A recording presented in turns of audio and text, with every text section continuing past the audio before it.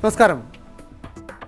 നാളത്തെ ഇന്ത്യ സഖ്യ റാലി പ്രതിപക്ഷത്തിന് പ്രതീക്ഷ നൽകുന്നത് ആകുമോ? ബി ജെ പിയുടെ നാനൂറിലേറെ എന്ന ലക്ഷ്യം തകർക്കാൻ പ്രതിപക്ഷ കക്ഷികൾക്ക് കഴിയുമോ? മിഷൻ നാനൂറിനായി ബി ജെ പി നടത്തുന്ന നീക്കങ്ങൾ ജനാധിപത്യ വിരുദ്ധമാണോ?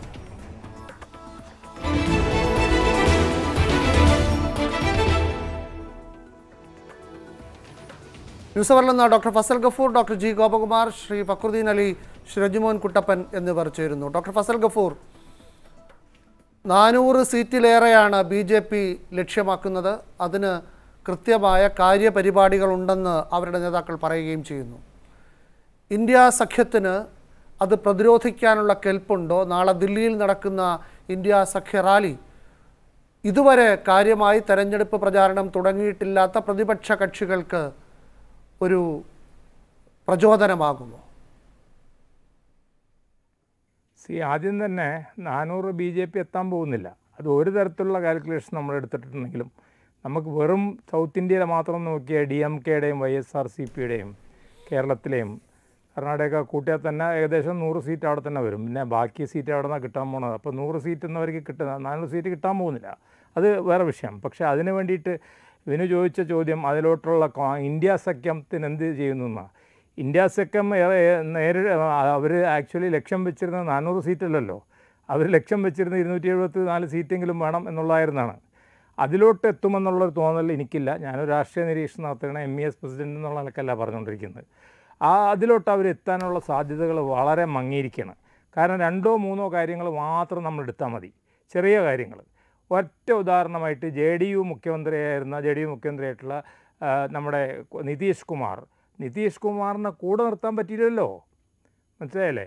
ഇയാൾ പണ്ടും ഇങ്ങനെ തന്നെ ഇരുന്ന് അങ്ങോട്ട് പോകും ഇങ്ങോട്ട് പോകുന്നു പറഞ്ഞിട്ട് കാര്യമില്ല. ഇങ്ങോട്ട് വന്നപ്പോൾ അവിടെ അദ്ദേഹം കൺവീനർ സ്ഥാനം ആ കൺവീനർ സ്ഥാനം അങ്ങോട്ട് കൊടുത്തേക്കുന്നത് പിന്നെ പ്രധാനമന്ത്രി വരുമ്പോൾ അത് വേറെ കാര്യമല്ലേ? അത് എം പിമാർ തീരുമാനിക്കുന്നതല്ലേ കൺവീനർ സ്ഥാനം കൊടുക്കുന്നതിനെ കൊണ്ടെന്താ അപ്പോൾ ആ കൺവീനർ സ്ഥാനം കൊടുക്കുന്ന ചാൻസ് കളഞ്ഞു. ഇവിടെ തെലുഗുദേശം ദേശം ആകെ വെട്ടിടക്കായിരുന്നു ആന്ധ്രാപ്രദേശിൽ. Y S R C P ആദ്യത്തെ പ്രീ അഭിപ്രായ വോട്ടെടുപ്പൊക്കെ കാണിച്ചത് ജഗ്മോഹൻ റെഡ്ഡി വളരെ മുന്നിലാണ്. അങ്ങനെ ഒറ്റപ്പെട്ട് കിടക്കുന്ന തെലുഗുദേശത്തെയും കൂട്ടുപിടിച്ചില്ല. വൈ എസ് ആർ സി പിയുടെ കൂടെയും കൂടിയില്ല. ഈ ആന്ധ്രയിലെ ആന്ധ്രയിലിപ്പോൾ അവരെല്ലാവരും കൂടെ ഒന്നായി. തെലുഗുദേശവും ബി ജെ പിയും ജനസേന എല്ലാം കൂടെ ഒന്നായിരിക്കുകയാണ് അങ്ങനെ മൊത്തത്തിൽ നമ്മൾ നോക്കുമ്പോൾ ഈ കോയിലീഷൻ പൊളിറ്റിക്സ് എന്ന് പറയും. ആ കോയിലീഷൻ പൊളിറ്റിക്സ് ഉണ്ടാക്കുന്നതിൽ ബി ജെ പി വിജയിക്കുകയും ഇവർ പരാജയപ്പെടുകയും ചെയ്തിരിക്കുകയാണ്. അപ്പോൾ അതാണ് ഫസ്റ്റ് പോയിന്റ് രണ്ടാമത് ഇവരുടെ പാർട്ടികൾ പാർട്ടികൾ പിളരുന്നു പിളരുന്നു. മനസ്സിലായല്ലേ? അല്ലെങ്കിൽ പാർട്ടികളെ പിളർത്തുന്നു എന്ന് പറയുമ്പോൾ അത് തന്നെ ഇന്ത്യ സഖ്യത്തിന് വലിയൊരു പരുക്കാണ് പറ്റിയിരിക്കുന്നത്. ആ പാർട്ടികളെ പിളർത്തി എന്നുള്ളത്. അപ്പോൾ പിളർത്തി എന്ന് പറയുമ്പോൾ നമ്മുടെ മയത്തെ ആൾക്കാർ നോക്കുമ്പോൾ ഒറ്റ ചോദ്യമാണ്? അതിന്റെ അർത്ഥം അവർ ഐഡിയോളജിക്കലി സ്ട്രോങ് അല്ല എന്നുള്ളതല്ലേ? ഇപ്പോൾ എൻ സി പിയെ പറ്റി പറയാം നമുക്ക്. എൻ സി പിയെ പറ്റി പണ്ട് പറഞ്ഞിരുന്നത് ഇന്ത്യയിൽ ഒട്ടും വിശ്വസിക്കാൻ പറ്റാത്ത പാർട്ടി ഏതാണെന്ന് ചോദിച്ചാൽ അല്ല പൊളിറ്റീഷ്യൻ ആരാന്ന് ചോദിച്ചാൽ അത് ശരത് പവാറാണെന്ന് പറഞ്ഞു ഇപ്പോൾ അത് ഓഫ് കോഴ്സ് ആ പട്ടം ഇപ്പോൾ കിട്ടിയിരിക്കുന്നത് നിതീഷ് കുമാറിനാണ്. അപ്പോൾ അതേമാതിരി തന്നെ നമ്മൾ ശിവസേനയെ പുലർ പുലർത്തുന്നു അപ്പോൾ അങ്ങനെയെല്ലാം കൂടെ പൊളിറ്റിക്കൽ തന്ത്രങ്ങളുടെ കാര്യത്തിൽ ആ തന്ത്രങ്ങളിൽ എന്തുമാത്രം ആദർശമുണ്ടെന്ന് ചോദിച്ചാൽ അതിന് ഞാനും വിനുവല്ല ഉത്തരം പറയേണ്ടത്. അതിനെ പറ്റിയിട്ട് അഭിപ്രായം പറയേണ്ട ആർ എസ് എസ് ആണ്. കാരണം നമ്മളൊന്നും നമ്മൾ എതിർക്കുന്ന ഒരു ഐഡിയോളജിയാണ് ആർ എസ് എസിന്. എന്നാൽ കൂടി അവർക്കൊരു ഐഡിയോളജി ഉണ്ടായിരുന്നു. അവർക്കൊരു കൊഹസീവ്നെസ് ഉണ്ടായിരുന്നു. മനസ്സിലായില്ലേ? ആ തെറ്റായ ഒരു സംഭവമാണെങ്കിൽ കൂടി അതിനു വേണ്ടിയിട്ട് അവർ നൂറ് കൊല്ലം പ്രവർത്തിച്ച സംഘടനയാണ്. ആ സംഘടന ഇപ്പോൾ അജ് വിജയത്തിലോട്ട് വരുന്ന സമയത്ത് ആരാണ് ഇപ്പോൾ കൂടെ നിൽക്കുന്നവരുടെ കൂടെ? ബംഗാളിൽ സുവേന്ദു നിൽക്കുന്നു കൂടെ. അല്ലെങ്കിൽ നമ്മൾ ഇവിടെ നോക്കുമ്പോൾ ബാസ് മുഖ്യമന്ത്രിമാരെ തന്നെ നമുക്ക് എടുക്കാമല്ലോ മുഖ്യമന്ത്രിമാരിൽ തന്നെ മേഘാലയ മിസോറാമിലൊക്കെ കൂറുമാറിയ മുഖ്യമന്ത്രിമാർ. ഇന്ന പേരെടുത്ത് തന്നെ നമ്മൾ പറയ പറയുകയാണെങ്കിൽ ഇപ്പോൾ ബസവരാജ് ബൊമ്മയായിരുന്നു മുഖ്യമന്ത്രി കർണാടകയിൽ. അദ്ദേഹം കൂറുമാറിയ ഒന്നാളാണ് അതേമാതിരി തന്നെ കൂറുമാറി വന്നിട്ടുള്ള ഒരുപടി പേര് എനിക്ക് തോന്നുന്നു പന്ത്രണ്ട് കോൺഗ്രസ് അല്ല പന്ത്രണ്ടോ പതിനാലോ കോൺഗ്രസ് മുഖ്യമന്ത്രിമാരെ ഇവരെടുത്തിട്ടുണ്ട് അശോക് ഗവാൻ തൊട്ട് അമരേന്ദ്ര സിംഗ് തൊട്ട് നമ്മുടെ ഇവിടെ ഉള്ള എസ് എം കൃഷ്ണ തൊട്ടിട്ട് ഈ ആൾക്കാരൊക്കെ എടുത്തിട്ടുണ്ട്. ഈ ആൾക്കാർ അവിടെ കുറച്ചു കാലം നിൽക്കും കുറേ കഴിഞ്ഞവരെ കാണാതെയാവും. നമുക്കറിയാം മുമ്പ് ഇതിന് മുമ്പ് തന്നെ മുമ്പ് ഭഗവത് ജ ആസാദ് കീർത്തി ആസാദും ഭഗവത് ജ ആസാദ് ഇതിന്റെ പിതാവ് ബീഹാർ മുഖ്യമന്ത്രി ഭഗവത് ജ ആസാദും ബി ജെ പി പോയി. നമ്മൾ എൻ ഡി തിവാരി പോയി ബി ജെ പിയിലോട്ട്. മനസ്സിലായി? അങ്ങനെ അല്ലെങ്കിൽ ചായ് കാണിച്ചു അവരൊന്നും അല്ലാതാവുന്നു. അതുകൊണ്ട് സഖ്യത്തിന് അത് ബാധിക്കില്ല കാരണം കോൺഗ്രസിനെ സംബന്ധിച്ചിടത്തോളം ഈ വ്യക്തികളൊന്നും വലിയൊരു പ്രശ്നമല്ല. നമുക്കറിയാം. ഇപ്പോൾ അശോക് ചവാന്റെ കൂടെ എത്ര പേര് മഹാരാഷ്ട്രയിലുണ്ടെന്ന് നമുക്കറിയാം. അദ്ദേഹത്തിന് നാന്തത് കോൺസ്റ്റുവൻസി എന്ന് പറഞ്ഞ കോൺസ്റ്റുവൻസി ഉണ്ട്. അതിന് ചുറ്റുമുള്ള കുറച്ച് ആൾക്കാരുണ്ടാവും. അതേമാതിരി തന്നെ എസ് എം കൃഷ്ണ എന്ന് പറഞ്ഞ വ്യക്തിക്ക് യാതൊരു തരത്തിലുള്ള സ്വാധീനം ഉള്ള ആളല്ല കർണാടകയിൽ. അപ്പോൾ ആ ആൾക്കാർ മാറിപ്പോയത് കൊണ്ടല്ല പ്രശ്നം ഉണ്ടാകുന്നത് ഉണ്ടാകുന്ന പ്രശ്നം എന്താണെന്ന് വെച്ചാൽ ജനങ്ങളുടെ ഇടയിൽ പ്രത്യേകിച്ച് അവർക്ക് വോട്ട് ചെയ്യുന്ന ജനങ്ങളുടെ ഇടയിൽ ഒരു തോന്നൽ വരും. പക്ഷേ കോൺഗ്രസ്സുകാരനെ തിരഞ്ഞെടുത്തിട്ട് എന്താ കാര്യം? എല്ലാം കൂറുമാറിക്കൊണ്ടിരിക്കുകയല്ലേ? അപ്പോൾ അത് ശരിയല്ല. കാരണം കോൺഗ്രസ് ഹൈക്കമാൻഡിൽ നിൽക്കുന്ന ആൾക്കാരുടെ ആദർശപരമായിട്ട് അവരോട് തന്നെ നിൽക്കുന്നുണ്ട്. പക്ഷേ കൂടെ ഇപ്പോൾ ഉദാഹരണം തന്നെ രാജ് രാഹുൽ ഗാന്ധിയുടെ കൊട്ടേറിയ എന്ന് പറയപ്പെടുന്ന മാധവറാവ് സിന്ധ്യ തൊട്ടിട്ട് ജിതേന്ദ്ര പ്രസാദ് വരെയുള്ള ആൾക്കാരൊക്കെ കൂറുമാറിപ്പോയി. അപ്പോൾ അത് ഒരു ഭാഗത്ത് നടക്കുന്നു കൂറുമാറ്റം ഒരു ഭാഗത്ത് നടക്കുന്നു പാർട്ടികളെ പൊളിക്കൽ ഒരു ഭാഗത്ത് നടക്കുന്നു. അതേമാതിരിയുള്ള ഒരുപാട് കാര്യങ്ങൾ നടക്കുന്നു. അപ്പോൾ അത് അവർ ചിന്തിക്കേണ്ടതാണ്. ഈ ചണ്ടിയെല്ലാം കൂടെ അങ്ങോട്ട് ചെന്ന് കഴിഞ്ഞിട്ടുണ്ടെങ്കിൽ ഒരു കാലത്ത് കംപ്ലീറ്റ് ചണ്ടി ഇങ്ങോട്ട് കോൺഗ്രസ്സിലോട്ട് വന്നിട്ടാണല്ലോ. കോൺഗ്രസ്സിന് തന്നെ വലിയ ക്ഷീണം പറ്റിയത്. അപ്പോൾ അതേ പ്രക്രിയ തന്നെ മനസ്സിലായല്ലേ? Congressization of B J P എന്ന് നമുക്ക് വേണമെച്ചാൽ പറയാം. അതേ ശൈലി തന്നെ തുടർന്നുകൊണ്ടിരുന്നാൽ മനസ്സിലായില്ലേ? എന്റെ അർത്ഥം കോൺഗ്രസ് ഫുൾ ടൈം അത് നടത്തിക്കൊണ്ടിരുന്നു എന്നുള്ള അതിന്റെ അർത്ഥം എടുക്കരുത്. പക്ഷേ ഞാൻ പറഞ്ഞുകൊണ്ടിരിക്കുന്നത് നമുക്കറിയാം ഭജൻലാലും കംപ്ലീ ഹരിയാനയിലെ complete Janata party legislative party ഒന്നടക്കം ആയിരത്തി തൊള്ളായിരത്തി എമർജൻസി കഴിഞ്ഞ ആയിരത്തി തൊള്ളായിരത്തി എൺപതിന് ശേഷം ആ പാർട്ടി ഒന്നടക്കം കോൺഗ്രസ് ലെജിസ്ലേറ്റീവ് പാർട്ടി ആവുകയും ജനതാ പാർട്ടിയുടെ മുഖ്യമന്ത്രിയായ ഭജൻലാൽ കോൺഗ്രസ് മുഖ്യമന്ത്രിയാവുകയും ചെയ്തു. അപ്പോൾ അത്തരത്തിലുള്ള പ്രക്രിയകളിലൊക്കെ ഏർപ്പെട്ടുകൊണ്ട് എങ്ങനെയാണ് ഇവർ ഇത് ഇനി അങ്ങോട്ട് കാര്യങ്ങൾ മുന്നോട്ട് കൊണ്ടുപോകാൻ പോകുന്നത്? കുറേയേറെ ഒരു ആദർശ ആദർശങ്ങളില്ലാത്ത കുറേ കൊച്ചു പാർട്ടികളൊക്കെ കൂടു കൂട്ട കൂട്ടുപിടിച്ചുകൊണ്ട് എങ്ങനെയാണ് ഈ പാർട്ടി മുന്നോട്ട് പോകാൻ പോകണം എന്നുള്ള കാര്യം എനിക്കറിഞ്ഞൂടാ. അത് ഏതായാലും ഇന്ത്യൻ രാഷ്ട്രീയത്തിനെ സംബന്ധിച്ചോളം ഇതിപ്പോൾ ഒരു ദുരന്തമായി മാറിക്കൊണ്ടിരിക്കുകയാണ്. യാതൊരു ഐഡിയോളജി ഇല്ലാതെ ആൾക്കാർ അങ്ങോട്ടും ഇങ്ങോട്ടും ഒക്കെ ചാടിക്കൊണ്ടിരിക്കുന്നു. അവരെയൊക്കെ വല വീശി പിടിക്കുന്നു.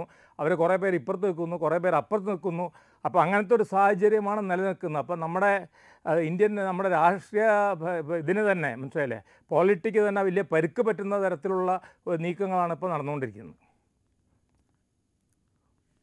ശ്രീ ഫസൽ ഗഫൂർ സൂചിപ്പിച്ച പ്രധാനപ്പെട്ട കാര്യം പ്രതിപക്ഷ ഐക്യം അത് വേണ്ട രീതിയിൽ രൂപപ്പെടുന്നില്ല. അതിനുള്ള അവസരം തന്നെ ഇന്ത്യ സഖ്യത്തിന്റെ നേതൃത്വം ഇല്ലാതാക്കി. അങ്ങനെയാണ് ബീഹാറിൽ നിതീഷ് കുമാർ തിരിച്ചു പോകാനുള്ള സാഹചര്യം ഉണ്ടാക്കിയത്. ഏറ്റവും രസകരമായ കാര്യം എങ്ങനെയാണ് ഇപ്പോൾ പ്രതിപക്ഷത്തുള്ള കക്ഷികളെ കൂടി ബി ജെ പി പിളർത്തിയതെന്നാണ് അദ്ദേഹം മഹാരാഷ്ട്രയിലെ ശിവസേനയുടെയും എൻ സി പിയുടെയും ഉദാഹരണങ്ങൾ ചൂണ്ടിക്കാണിച്ചു കോൺഗ്രസ് നേതാക്കളെ ബി ജെ പിയിലേക്ക് എത്തിച്ചതും. ഡോക്ടർ ഗോപകുമാർ ഇത്തവണത്തെ ഇന്ത്യ ടുഡേ മാഗസിൻ ഈ മഹാരാഷ്ട്ര പോലെയുള്ള സംഭവങ്ങളെ ബീഹാർ സംഭവങ്ങളെയൊക്കെ വിശേഷിപ്പിച്ചത് മെർജർ ആൻഡ് അക്വിസിഷൻസ് എന്നാണ്. സാധാരണ കോർപ്പറേറ്റ് കമ്പനികളുടെ കാര്യത്തിലാണ് നാം ഇത് കേട്ടിട്ടുള്ളത്. ചില വമ്പൻ കമ്പനികൾ ലയിക്കുന്നു ചില വമ്പൻ കമ്പനികളെ ഏറ്റെടുക്കുന്നു. ഇതാണ് ബി ജെ പി ഇലക്ട്രൽ പൊളിറ്റിക്സിൽ പയറ്റുന്ന തന്ത്രം. അവർക്ക് മഹാരാഷ്ട്രയിൽ ശിവസേനയും എൻ സി ശിവസേന നഷ്ടപ്പെടുമ്പോൾ പകരം അവർ ശിവസേനയെ പിളർത്തുന്നു പോരാത്തതിന് എൻ സി പിയെ കൂടി പിളർത്തുന്നു. രാജ് താക്കറെ പോലെയുള്ള മറ്റൊരു താക്കറയെ അവരുടെ കൂട്ടത്തിലേക്ക് എത്തിക്കുന്നു. അങ്ങനെയുള്ള നീക്കങ്ങൾ വിട്ടുപോയ നിതീഷ് കുമാറിനെ അപ്രതീക്ഷിതമായി തിരിച്ചു പിടിക്കുന്നു. ഇന്ത്യ സഖ്യത്തിന്റെ നേതൃസ്ഥാനത്ത് നിന്ന് തിരിച്ച് എൻ ഡി എ പാളയത്തിലേക്ക് എത്തുന്നു. ഇങ്ങനെയുള്ള നീക്കങ്ങളിലൂടെ ഈ നാനൂറ് എന്ന സംഖ്യയിലേക്ക് എൻ ഡി എക്ക് എത്താൻ കഴിയുമോ? ഡോക്ടർ ഗോപകുമാറിന് നന്നായി അറിയാവുന്നതുപോലെ രണ്ടായിരത്തി പതിനാല് വരെ ബി ജെ പിയുടെ ഏറ്റവും വലിയ സംഖ്യ ലോക്സഭയിൽ നൂറ്റി എൺപത്തിരണ്ടായിരുന്നു രണ്ടായിരത്തി പതിനാലിൽ മോദിയുടെ നേതൃത്വത്തിലാണ് അത് ഇരുന്നൂറ്റി എൺപത്തിരണ്ടായത് കേവല ഭൂരിപക്ഷത്തിന് മുകളിൽ ബി ജെ പിക്ക് തന്നെയായത് എൻ ഡി എക്ക് മുന്നൂറ്റി മുപ്പത്താറും രണ്ടായിരത്തി പത്തൊൻപതിൽ നരേന്ദ്രമോദി അത് മുന്നൂറ്റി മൂന്നായി ബി ജെ പിയുടെ സംഖ്യ ഉയർത്തി എൻ ഡി എയുടേത് മുന്നൂറ്റി അൻപത്തിരണ്ടും ആയിരത്തി തൊള്ളായിരത്തി എൺപത്തിനാലിൽ രാജീവ് ഗാന്ധിയുടെ നേതൃത്വത്തിൽ കോൺഗ്രസ് ഒറ്റയ്ക്ക് ഭൂരിപക്ഷം നേടിയതിനു ശേഷം ഒരു പാർട്ടി ഒറ്റയ്ക്ക് കേവല ഭൂരിപക്ഷം നേടുന്നത് രണ്ടായിരത്തി പതിനാലിലായിരുന്നു പക്ഷേ ഇപ്പോഴും കോൺഗ്രസിന്റെ എൺപത്തിനാലിലെ നാനൂറ്റി പതിനാലെന്ന സംഖ്യ ബി ജെ പിക്ക് അകലെയാണ്. ആ നാനൂറിലേക്ക് എത്തുകയാണ് മോദിയുടെ ലക്ഷ്യം. ലക്ഷ്യം കൊള്ളാം സ്വപ്നവും കൊള്ളാം. പക്ഷേ യാഥാർത്ഥ്യവും ആ സ്വപ്നവുമായി പൊരുത്തപ്പെടുന്നുണ്ടോ ഡോക്ടർ ഗോപകുമാർ? തീർച്ചയായിട്ടും ഇല്ല എന്ന് വേണം പറയാൻ.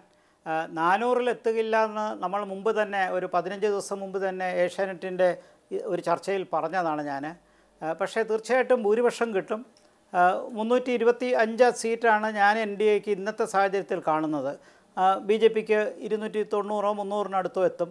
ആ നിലയ്ക്ക് വ്യക്തമായ കേവല ഭൂരിപക്ഷം കിട്ടാനുള്ള എല്ലാ സാഹചര്യവും ഇന്നത്തെ പശ്ചാത്തലത്തിലുണ്ട്.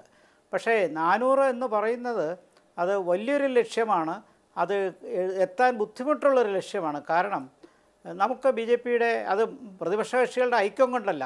ഗഫൂർ പറഞ്ഞതിനോട് ആ ഭാഗത്തോട് നന്നായിട്ട് യോജിക്കുന്നു. ബി ജെ പിയുടെ സംഘടനാ ബലവും അവരുടെ തെരഞ്ഞെടുപ്പിന്റെ തന്ത്രങ്ങളുമെല്ലാം നന്നായിട്ട് പ്രവർത്തിക്കുന്നത് കൊണ്ടാണ് കോൺഗ്രസ് ഉൾപ്പെടെയുള്ള കക്ഷിയിലെ നേതാക്കന്മാർ ബി ജെ പിയിലേക്ക് വരുന്നത്. ഇപ്പോൾ കരിയർ നോക്കിയാണ് അവർ വരുന്നതെന്നുള്ളത് വ്യക്തമാണ്. വിജയസാധ്യത നോക്കിയാണ് വരുന്നതെന്നുള്ളത് വ്യക്തമാണ്. പ്രതിപക്ഷ കക്ഷികൾ ഡിസറേ അവർ ഡിസ്യുണൈറ്റഡ് ആണ്. അവർക്ക് കോമൺ ആയിട്ടൊരു മാൻഡേറ്റ് ഇല്ല കോമൺ ആയിട്ടൊരു നേതാവില്ല. രാജീവ് ഗാന്ധി ഇന്ദിരാ സഹതാപ തരംഗത്തിലുണ്ടാക്കിയ വൻ വിജയം. അതല്ലെങ്കിൽ അതിനു മുമ്പ് എഴുപത്തൊന്നിൽ ഇന്ദിരാ തരംഗമുണ്ടായപ്പോൾ അതേപോലത്തെ ഒരു ആവേശം ഇന്നിപ്പോൾ ദേശീയതലത്തിൽ കാണുന്നില്ല. മാത്രമല്ല മൂന്നാമത്തെ തവണ എൻ ഡി എ ജയിക്കാൻ പോകുമ്പോൾ അങ്ങനെ ഒരു തരംഗം സൃഷ്ടിക്കാൻ പോകുന്നൊരു പശ്ചാത്തലം ദേശീയതലത്തിൽ കാണുന്നില്ല. പക്ഷേ മറ്റ് ഇന്ത്യ സഖ്യത്തിന് വിജയിക്കാൻ ഒരിക്കലും കഴിയുന്ന ഒരു പശ്ചാത്തലം ഇതുവരെ ഉണ്ടായിട്ടില്ല. ഇനി വരുന്ന ഒരു മാസത്തിനിടയ്ക്ക് എന്ത് അത്ഭുതം സംഭവിക്കുമോ നമുക്ക് നോക്കിക്കാണാം. ഇന്ത്യ സഖ്യത്തിനകത്തുള്ള അനൈക്യവും അതോടൊപ്പം തമ്മിൽ തമ്മിൽ മത്സരിക്കുന്ന കാര്യങ്ങളും അഭിപ്രായ വ്യത്യാസങ്ങളും പരസ്പരം. ഇപ്പോൾ കേരളത്തിൽ തന്നെ കോൺഗ്രസും യു ഡി യു ഡി എഫും എൽ ഡി എഫും രണ്ട് ഭാഷ്യമല്ലേ പറയും രണ്ട് നെറേറ്റീവ് അല്ലേ പറയുന്നത്? ഇപ്പോൾ ആ നിലയ്ക്ക് പിന്നെ മാത്രമല്ല ചില സംസ്ഥാനങ്ങൾ തമിഴ്നാട് പോലുള്ള സംസ്ഥാനങ്ങളിൽ ഡി എം കെക്കുള്ള അപ്രമാദിത്യം അപ്പോൾ ഇതൊക്കെ നോക്കി ഒരു വശത്ത് സംസ്ഥാന നിലയ്ക്കുള്ള പാർട്ടികൾക്ക് അവരുടേതായ സീറ്റുകൾ കിട്ടും. കഴിഞ്ഞ തവണത്തേക്കാൾ കോൺഗ്രസിന് കുറച്ചുകൂടി സീറ്റുകൾ കിട്ടും. പക്ഷേ കഴിഞ്ഞ തവണ ബി ജെ പിക്ക് പൂർണമായി കിട്ടിയ സീറ്റുകൾ അത് എത്രത്തോളം പൂർണമാകുമോ എന്നുള്ളതിന് സംശയമുണ്ട്. പക്ഷേ കർണാടകയിൽ എനിക്ക് വിശ്വാസമുണ്ട്. കർണാടകയിൽ ബി ജെ പി നേടും. സൗത്ത് ഇന്ത്യയിൽ ഒരു സ്റ്റേറ്റെങ്കിലും ബി ജെ പിയിലൂടെ നിൽക്കാൻ പോകുന്നത് ഉറച്ചു നിൽക്കാൻ പോകുന്നത് കർണാടകയാണ്. പക്ഷേ ഉത്തരേന്ത്യൻ സംസ്ഥാനങ്ങളിലെ സ്ഥിതി നമുക്കറിയാം. അത് ആൾറെഡി ഒരു സാച്ചുറേഷൻ പോയിന്റ് പോയിന്റിലെത്തി ആ സാച്ചുറേഷൻ പോയിന്റിനപ്പുറം ഒന്നും നേടാനില്ലാത്തത് കൊണ്ടാണ് ഇതേ സമയം സൗത്ത് ഇന്ത്യയിൽ സീറ്റുകളൊന്നും കിട്ടാത്തത് കൊണ്ടാണ് നാനൂറ് എന്നുള്ള ലക്ഷ്യം എത്താൻ പോകുന്നില്ല എന്ന് പറയാൻ കാരണം. മുന്നൂറ്റി എഴുപത് എന്നുള്ള ലക്ഷ്യവും എത്തത്തില്ല. അപ്പോൾ അത് നമുക്ക് വ്യക്തമാണ്. ഒരു മുന്നൂറ്റി ഇരുപത്തഞ്ച് മുന്നൂറ്റി മുപ്പതിനകത്ത് നിൽക്കാവുന്ന ഒരു റേഞ്ചിൽ ഒരു വിജയം കരസ്ഥമാക്കും. അപ്പോൾ ഇത് തീർച്ചയായിട്ടും ഡോക്ടർ കോൺഗ്രസ് നേരത്തെ പറഞ്ഞത് ഇരുന്നൂറ്റി മുന്നൂറ്റി മൂന്നാണ് ഇപ്പോഴത്തെ സംഖ്യ. ഇരുന്നൂറ്റി തൊണ്ണൂറ് രാഷ്ട്രീയ സാഹചര്യത്തിൽ ബി ജെ പി തനിച്ച് ഇരുന്നൂറ്റി തൊണ്ണൂറ് എന്നാണ്. അതെ.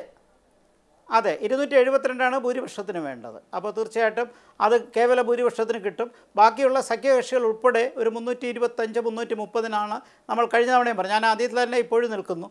ആ മുന്നൂറ്റി മുപ്പതിന് ഡോക്ടർ കുമാർ, എന്റെ മുകളിലേക്ക് സംശയം- പോകാനുള്ള ഒരു ആവേശം നരേന്ദ്രമോദി ഈ പതിനേഴാം ലോക്സഭയുടെ അവസാന സമ്മേളനം തീരുന്നതിന്റെ തലേന്ന് ഫെബ്രുവരി അഞ്ചിനാണെന്ന് തോന്നുന്നു. അന്നാണ് അദ്ദേഹം പ്രഖ്യാപിച്ചത്. അബ്കി ബാർ ചാർ സൗ പാർ. അദ്ദേഹം അബ്കി ബാർ എന്ന് പറയുന്നു. ജനക്കൂട്ടം ചാർ സൗ പാർ എന്ന് ഏറ്റുവിളിക്കുന്നു. അപ്പോൾ ബി ജെ പിയുടെ ലക്ഷ്യമായി അവർ മുന്നോട്ട് വെച്ചത് രണ്ടായിരത്തി ഇരുപത്തിനാലിലെ ലക്ഷ്യം. നെഹ്റുവിന് ശേഷം ആദ്യമായി സ്വന്തം പാർട്ടിയെ തുടർച്ചയായി മൂന്നാം തവണ കേവല ഭൂരിപക്ഷത്തിൽ എത്തിക്കുന്ന നേതാവായി മാറുക. രണ്ടാമത്തേത് അതും നാനൂറ് സീറ്റിലേറെ നേടി. ആ റെക്കോർഡിനൊപ്പം നാനൂറ് സീറ്റിൽ അധികം നേടി രാജീവ് ഗാന്ധിയുടെ എൺപത്തി നാലിലെ റെക്കോർഡിനൊപ്പം എത്തിക്കുക എത്തുക. അപ്പോൾ ഇത് രണ്ടും ബാലികാറാം മലയാണെന്നാണ് ഡോക്ടർ ഗോപകുമാർ പറയുന്നത്. ഇല്ല ആദ്യത്തെ ബാലികാറ മലയാണെന്ന് ഞാൻ പറഞ്ഞില്ല. ആദ്യത്തെ വ്യക്തമായിട്ട് ഞാൻ പറഞ്ഞു കേവല ഭൂരിപക്ഷം എൻ ഡി എക്ക് കിട്ടാനുള്ള സാധ്യതയുണ്ട്. ബി ജെ പിക്ക് തനിച്ച് തന്നെ ഇരുന്നൂറ്റി തൊണ്ണൂറ് എന്ന് പറഞ്ഞാൽ ഇരുന്നൂറ്റി എഴുപത്തിരണ്ടാണ് ഭൂരിപക്ഷം.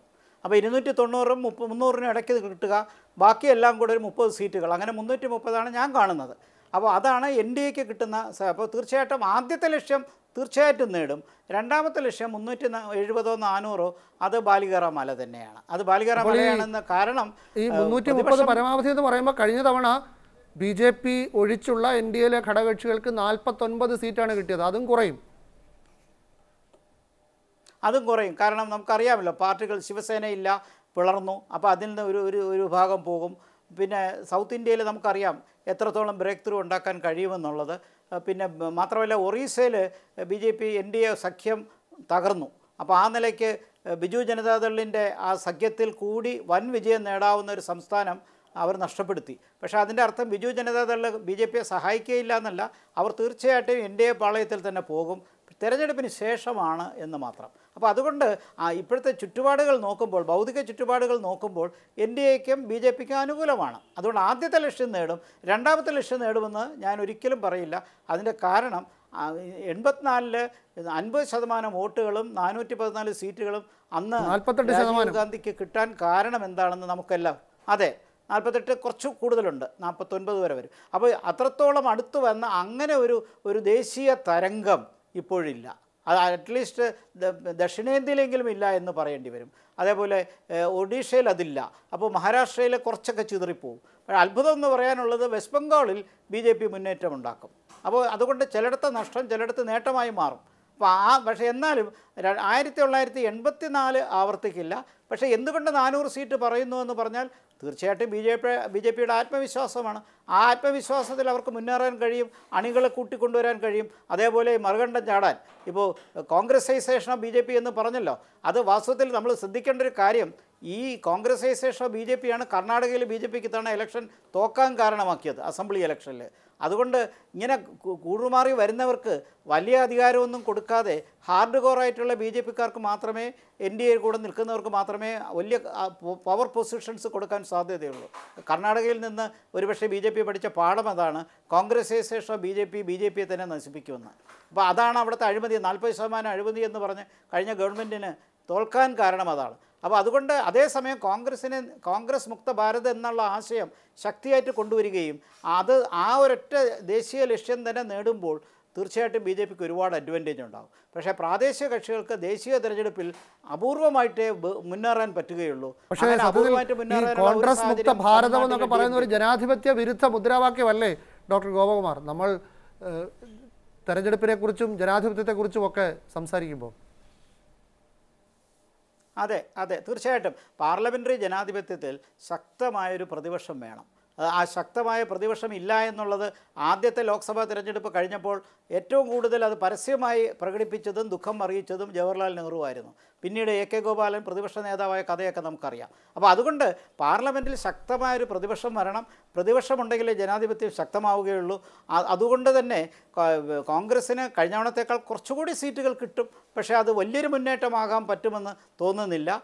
അവരുടെ കോൺഗ്രസ് മുക്ത ഭാരത് എന്നുള്ള ആശയം പൂർണമായും വിജയിക്കുന്നില്ലല്ലോ. തെലങ്കാന കോൺഗ്രസിന്റെ കൂടെ നിൽക്കാനല്ലേ സാധ്യതയുള്ളൂ. ആന്ധ്രയിലും ഏതാണ്ട് അതുപോലെയാണ്. ഡി എം കെയും കോൺഗ്രസും തമിഴ്നാട്ടിൽ സഖ്യത്തിലാണ്. അപ്പോൾ അതുകൊണ്ട് കുറച്ച് സംസ്ഥാനങ്ങളെങ്കിലും കോൺഗ്രസിനോട് നിൽക്കുന്നതുകൊണ്ട് ഒരു കംപ്ലീറ്റ് വാഷ് ഔട്ടൊന്നും അവരാരും പ്രതീക്ഷിക്കുന്നില്ല. എന്നാൽ ആ മുദ്രാവാക്യവും നേരത്തെ പറഞ്ഞ പോലെ നാനൂറ് സീറ്റ് എന്നുള്ള ആവേശവും അതൊരു തരംഗമുണ്ടാക്കാൻ ഉത്തരേന്ത്യയിൽ കഴിയും. പ്രത്യേകിച്ച് കോൺഗ്രസ്സിന് ഒറ്റയ്ക്ക് നിൽക്കാനുള്ള അല്ലെങ്കിൽ സഖ്യകക്ഷിയായിട്ട് നിൽക്കാനുള്ള ഒരു ആവേശം കാണുന്നില്ല. ആവേശത്തിൽ തന്നെ നമുക്ക് കണ്ടു നിതീഷ് കുമാറിനെ പുറത്താക്കിയ കാര്യമൊക്കെ പറഞ്ഞല്ലോ. അതുകൊണ്ട് എഴുപത്തേഴ് പോലെ പ്രതിപക്ഷങ്ങളുടെ ഒരു ഏകോപനം ഒറ്റക്കെട്ടായി വന്ന് ഒരുമിച്ച് ലയിച്ച് ഒരു ഒറ്റ സ്ഥാനാർത്ഥിയായിട്ട് നിൽക്കുന്ന ഒരു രാഷ്ട്രീയം ഇപ്പോഴില്ല. അതുകൊണ്ട് തന്നെ പരസ്പരം മത്സരിച്ച് അവർക്ക് നഷ്ടമുണ്ടാകാൻ സാധ്യതയുണ്ട്. നമ്മൾ കേരളത്തിലെ ഒരു ബൈപ്പോളാർ പൊളിറ്റിക്സിന്റെ ഒരു പശ്ചാത്തലത്തിൽ മാത്രം ഇതിനെ കാണാതെ ഒരു ദേശീയ തലത്തിൽ അതെങ്ങനെ കാണുന്നു? ദേശീയ വികാരം എന്താണ്? ദേശീയത്തിൽ രാഷ്ട്രീയത്തിൽ കാണുന്ന അടിയൊഴുക്കുകൾ എന്താണ്? എന്നുള്ള ഫാക്ടേഴ്സ് എല്ലാം പരിഗണിക്കുമ്പോൾ തീർച്ചയായിട്ടും പ്രതിപക്ഷത്തിന് വലിയ സാധ്യത ഈ തിരഞ്ഞെടുപ്പിൽ കാണുന്നില്ല.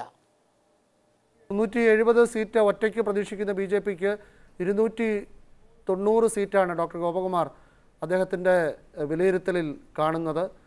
അദ്ദേഹം ശരിയായി സൂചിപ്പിച്ചതുപോലെ എൺപത്തി നാലിൽ കോൺഗ്രസ്സിന് വലിയ മുന്നേറ്റമുണ്ടായത് നാൽപ്പത്തി ഒൻപത് ശതമാനത്തോളം വോട്ട് നേടിയപ്പോഴാണ്. ബി ജെ പിക്ക് രണ്ടായിരത്തി പത്തൊൻപതിൽ ബി ജെ പിക്ക് മാത്രം കിട്ടിയത് മുപ്പത്തി ഏഴ് ദശാംശം മൂന്ന് ശതമാനം വോട്ടാണ് എൻ ഡി എക്ക് മൊത്തം നാൽപ്പത്തി അഞ്ചും അപ്പോൾ കോൺഗ്രസിന്റെ ആ നേട്ടത്തിലേക്ക് എത്തണമെങ്കിൽ ഈ നാല് ശതമാനം വോട്ടിന്റെ ഡിഫറൻസ് ഉണ്ട്. ഏതാണ്ട് പത്ത് എഴുപത് സീറ്റ് അധികമായി അവർക്ക് വേണം. നാൽപ്പത്തൊമ്പത് സീറ്റ് അവരുടെ ഘടകകക്ഷികൾ നിലനിർത്തുകയും വേണം. ശ്രീ ഫക്രുദ്ദീൻ അലി ബി ജെ പിക്ക് അവർ ഈ പറഞ്ഞുകൊണ്ടിരിക്കുന്ന നാനൂറ് എന്നത് അവരുടെ കോട്ടകൾ സംരക്ഷിച്ചുകൊണ്ട് തെക്കേ ഇന്ത്യയിലേക്ക് കടന്നു കയറിക്കൊണ്ട് മാത്രമേ സാധ്യമാവുകയുള്ളൂ. അതിനുള്ള തടസ്സങ്ങളാണ് നേരത്തെ ശ്രീ ഗോപകുമാറും ഡോക്ടർ ഫസൽ ഗഫൂറും പറഞ്ഞത്. ഈ മുന്നൂറ്റി മൂന്ന് സീറ്റ് എന്ന അവരുടെ രണ്ടായിരത്തി പത്തൊൻപതിലെ കണക്ക് അതുപോലെ അവിടെ ഈ ഹൺഡ്രഡ് പെർസെന്റ് സ്ട്രൈക്ക് റേറ്റ് അവർക്ക് നിലനിർത്തണം. ഇതിനകം തന്നെ ഘടകകക്ഷികൾ ശോഷിച്ചു പോയിട്ടുണ്ട് ശിവസേന അടക്കം ആ ശോഷിച്ചു പോയ ഘടകകക്ഷികൾ കഴിഞ്ഞ തവണ നേടിത്തന്ന നാൽപ്പത്തൊൻപത് സീറ്റ് അത് നിലനിർത്തണം. ഈ രണ്ടായിരത്തി പത്തൊൻപതിൽ അവർ തൂത്തുവാരിയ സ്ഥലങ്ങളൊക്കെ അതുപോലെ നിലനിൽക്കണമെന്നാണ് ഈ കണക്കുകൾ സൂചിപ്പിക്കുന്നത്. അതായത് ഹരിയാന ഹിമാചൽ പ്രദേശ് ഉത്തരാഖണ്ഡ് രാജസ്ഥാൻ ഗുജറാത്ത് മധ്യപ്രദേശ് ഛത്തീസ്ഗഡ് ബീഹാർ ജാർഖണ്ഡ് മഹാരാഷ്ട്ര ദില്ലി കർണാടക ഒക്കെ. അവിടെയൊക്കെയുള്ള മുന്നൂറ്റി ഇരുപത്തേഴ് സീറ്റിൽ ഇരുന്നൂറ്റി തൊണ്ണൂറ്റാറും കഴിഞ്ഞ തവണ ബി ജെ പിക്ക് കിട്ടിയതാണ്. തൊണ്ണൂറ് ശതമാനം സ്ട്രൈക്ക് റേറ്റ്. അത് നിലനിർത്താൻ അവർക്ക് കഴിയുമോ നിലവിലെ രാഷ്ട്രീയ സാഹചര്യത്തിൽ? അല്ല കോട്ടകൾ സംരക്ഷിക്കാൻ ബുദ്ധിമുട്ടൊന്നുമില്ല. അത് ഉത്തരേന്ത്യയിൽ ഈ രാമജന്മഭൂമി ക്ഷേത്രം നിർമ്മിച്ചതോടുകൂടി തന്നെ വലിയൊരു ഇമോഷണലായിട്ട് വലിയൊരു ഇമ്പാക്റ്റ് ഉണ്ടാക്കാൻ അവർക്ക് പറ്റിയിട്ടുണ്ട്. ആ ഒരു ഹിന്ദി ബെൽറ്റ് ഞാൻ കൗ ബെൽറ്റ് എന്ന് പറഞ്ഞാൽ അപമാനിക്കുന്നുണ്ട് അത് നമുക്ക് ആളുകൾ അപമാനിക്കേണ്ട ആവശ്യമൊന്നുമില്ല. ഹിന്ദി ബെൽറ്റിൽ അവർക്ക് അത് പറ്റിയിട്ടുണ്ട്.